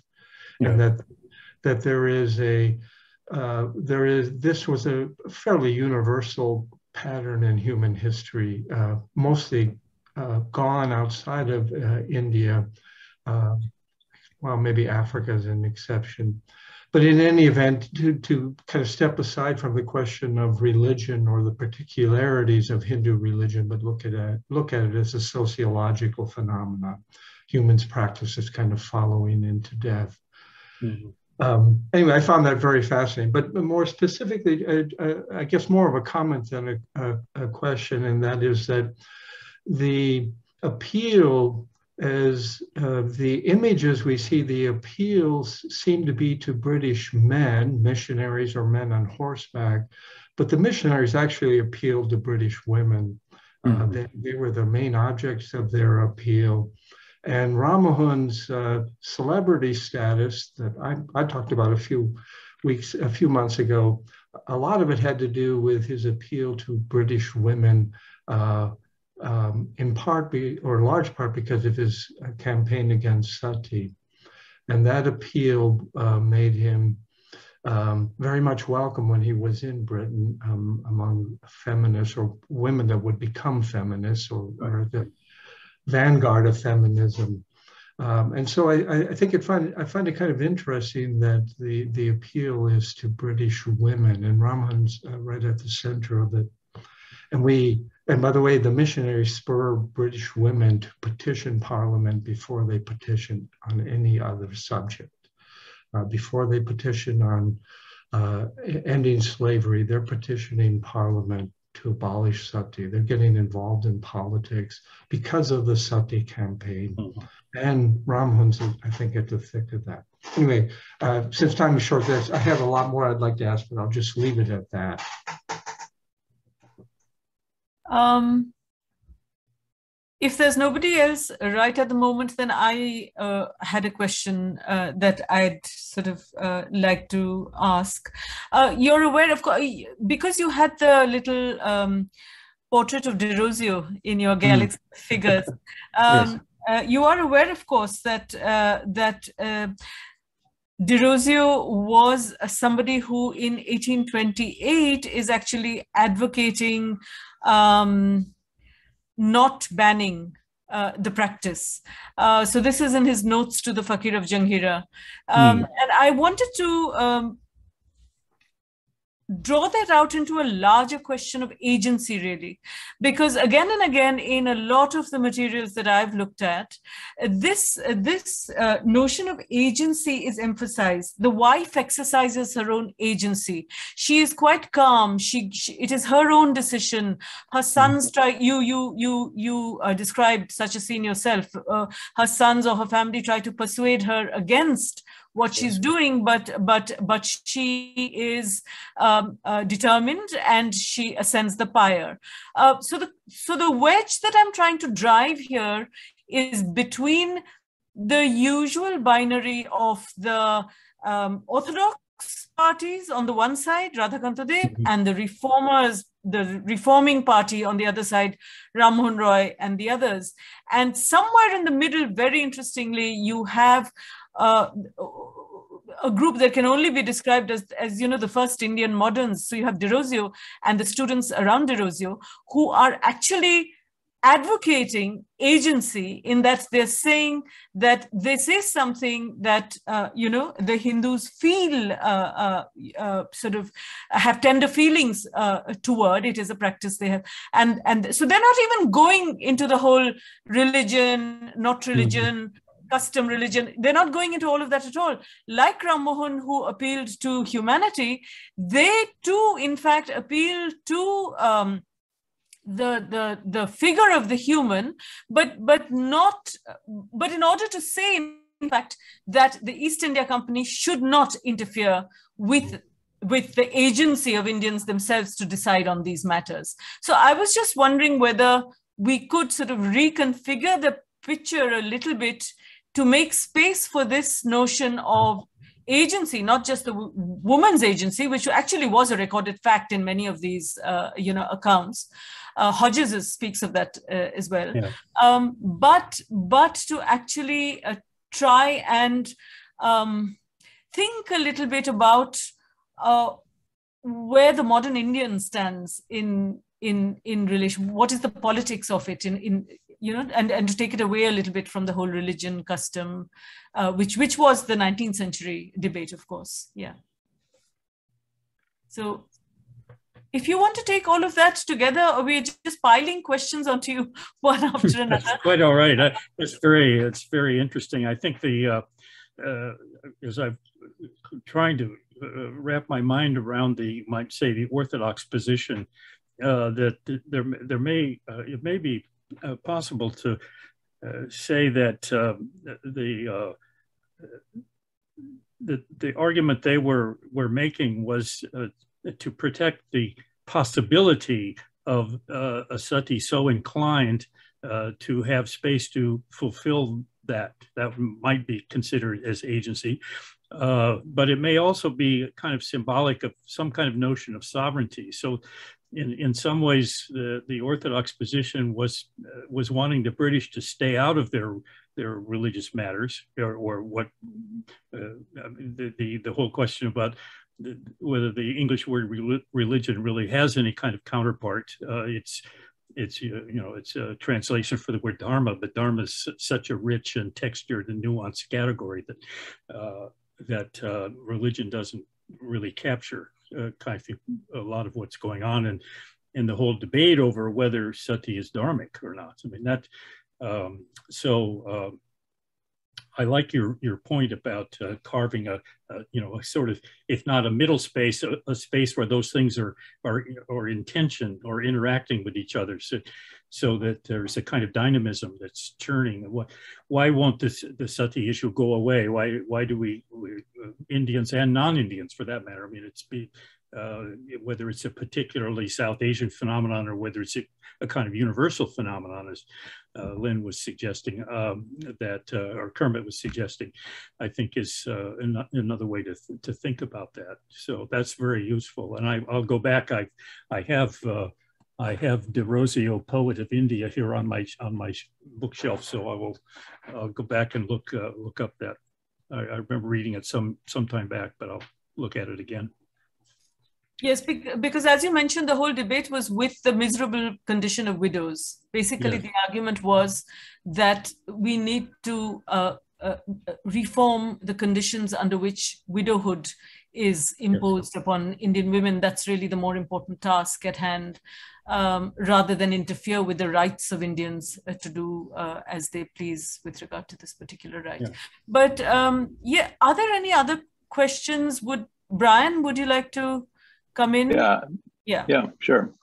Yeah, thank you. I, I wanted to um, comment in particular, ask a question that would put Paul's presentation in relation to Imma's comments, um, because I appreciate you you being here, Imma, to bring in the other side of the sati myth, as it were. But I'm I'm curious on the when the linkage first is made in the 19th century explicitly between Sahamarana and then sati as the and the daksha sacrifice, because they're two different things really, and the, the, the Sahamarana is not considered a, a sacrifice as far as I understand. Right, the woman is not the, the discourse around her going willingly into the fire is not construed as sacrifice.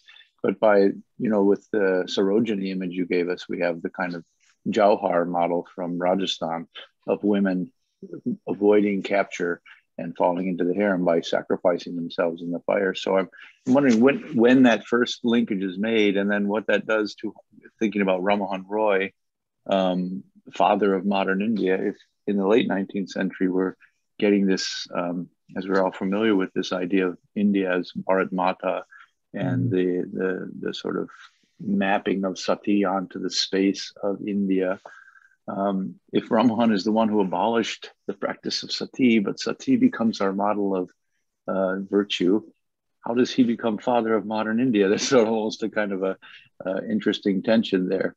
Uh, he's the one who put a stop to, or we in the popular imagination helped put a stop to the idea of a woman giving herself up in this fashion, and yet he gets to become father of modern India when at the moment when Sati's been um, elevated to the status of the goddess as nation. So it's a kind of a curious question, but I appreciate thoughts.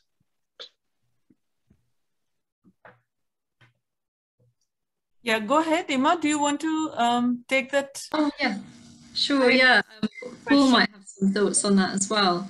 But um, but I think it's a really really interesting question. Um, I mean, one thing I suppose that I didn't mention was uh, how Sati is, is, very interesting as a sort of transitional icon um, between um, images and um, and there are also plays as well around um, uh, Mother India as Bharat Bhiksha or India begging, um, and you know that figure becomes prominent around the 1870s. And there are sort of um, Calcutta Art Studio actually releases a print of um, India as a sort of um, haggard um, begging woman who's approaching Queen Victoria and um, offering her a, a, small child who is a symbol of India's future. And uh, Chris Pinney talks about this this image. But that image of Bharat Bhiksha as a sort of uh, well, it's an image that sort of torn between um, loyalty to Mother India and loyalty to Mother Victoria. But then by the sort of 1890s and particularly the uh, early 20th century, you have the imagery of, of Bharat Mata as superimposed on a, on a map of India. So she becomes sort of much more of a kind of cartographic um, symbol and, and, a heroic symbol. Um, so you go from sort of Mother India imagined as impoverished to Mother India as heroic, but Sati as a goddess um, is a really uh, interesting transitional figure between those two symbols. Um, and um, which is not necessarily been uh, she hasn't really necessarily been identified as a sort of transitional icon um, in that way um, but to, you know as to your question I'm, I'm not sure I can really uh, fully answer your question but I think it's a really interesting point um, about that tension between you know Ram Mohan Roy as the sort of father of India and, and everything that he rep- represents in terms of his um, uh, you know, ideas around Sati and then how Sati becomes a sort of almost like a nationalist icon by the late 19th century. I don't know if, if Paul wants to um, add anything to to that relationship. No, I, uh, other than to, remind us of, of the power of images and much of the uh, writing that I've really come across on Sati has been about um, uh, texts and and uh, discourse and argument and what uh, uh what you uh, what we see in some of these images is uh, in a sense opens the the opens the gates up for maybe sati being something more of a on a kind of spectrum of meanings so that there is some uh, connection with this with the story of Sati and the story of Daksha sacrifice and the story of the Shaktipitas as as uh, the you might say the expanded body of the goddess, uh, which is uh, in fact the land of India. That uh, um, that's already taking it beyond the Puranic myth of of uh, Sati's immolation, and then how all this gets connected to to 19th and 20th century.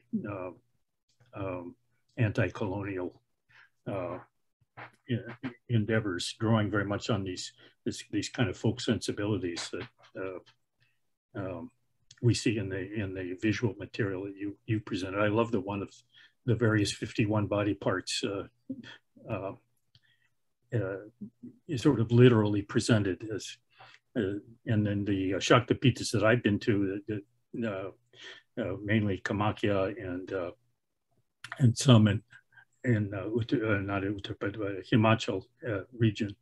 Uh, there's not a lot of emphasis on sati so much as, as uh, she's already now transformed into a form of the Devi and has a whole other mythology that may be connecting her to that more local context. But so I apologize for going over too long, but I hope I haven't closed any anybody out who wants to participate. No, not at all.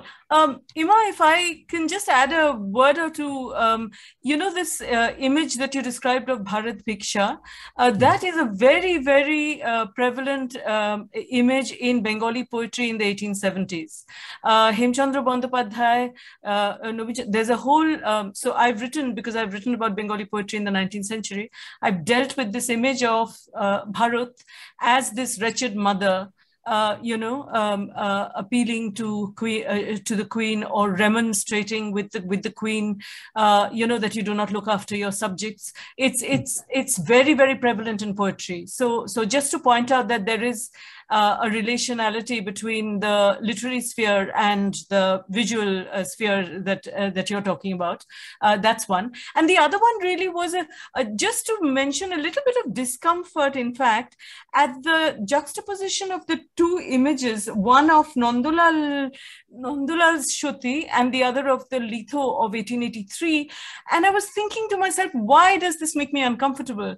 And um, I think you know while everybody was talking and and I was thinking about it. I think it is because there, there, there's there's a development happening. If I mean that's my hypothesis at least, uh, where really you know the, the the real the real the real, as in the practice of sati and the abolition of sati and actually widows burning on pyres in the 18, 1830s, 1829, 1830, and this later moment in the 19th century when it is becoming figurative.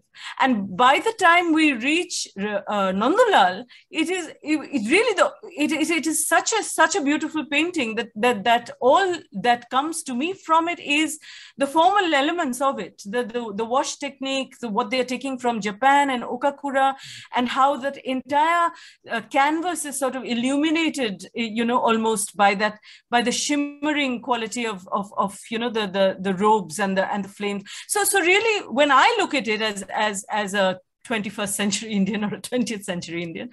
I, I can see only the, the, the beauty of Nandalal's mm, very modernist uh, art. Uh, whereas the litho, of course, is a different thing entirely and is, is belongs to popular culture. And and that sort of juxtaposition sort of then i was thinking whether it is to do really with the transformation of of it into something figurative rather than so from the practice of sati itself to the figurative the symbolic. And because there's so much you, you mentioned Jauhar and padmini of course uh, uh, you know Abanindranath himself uh, writes rajkahini.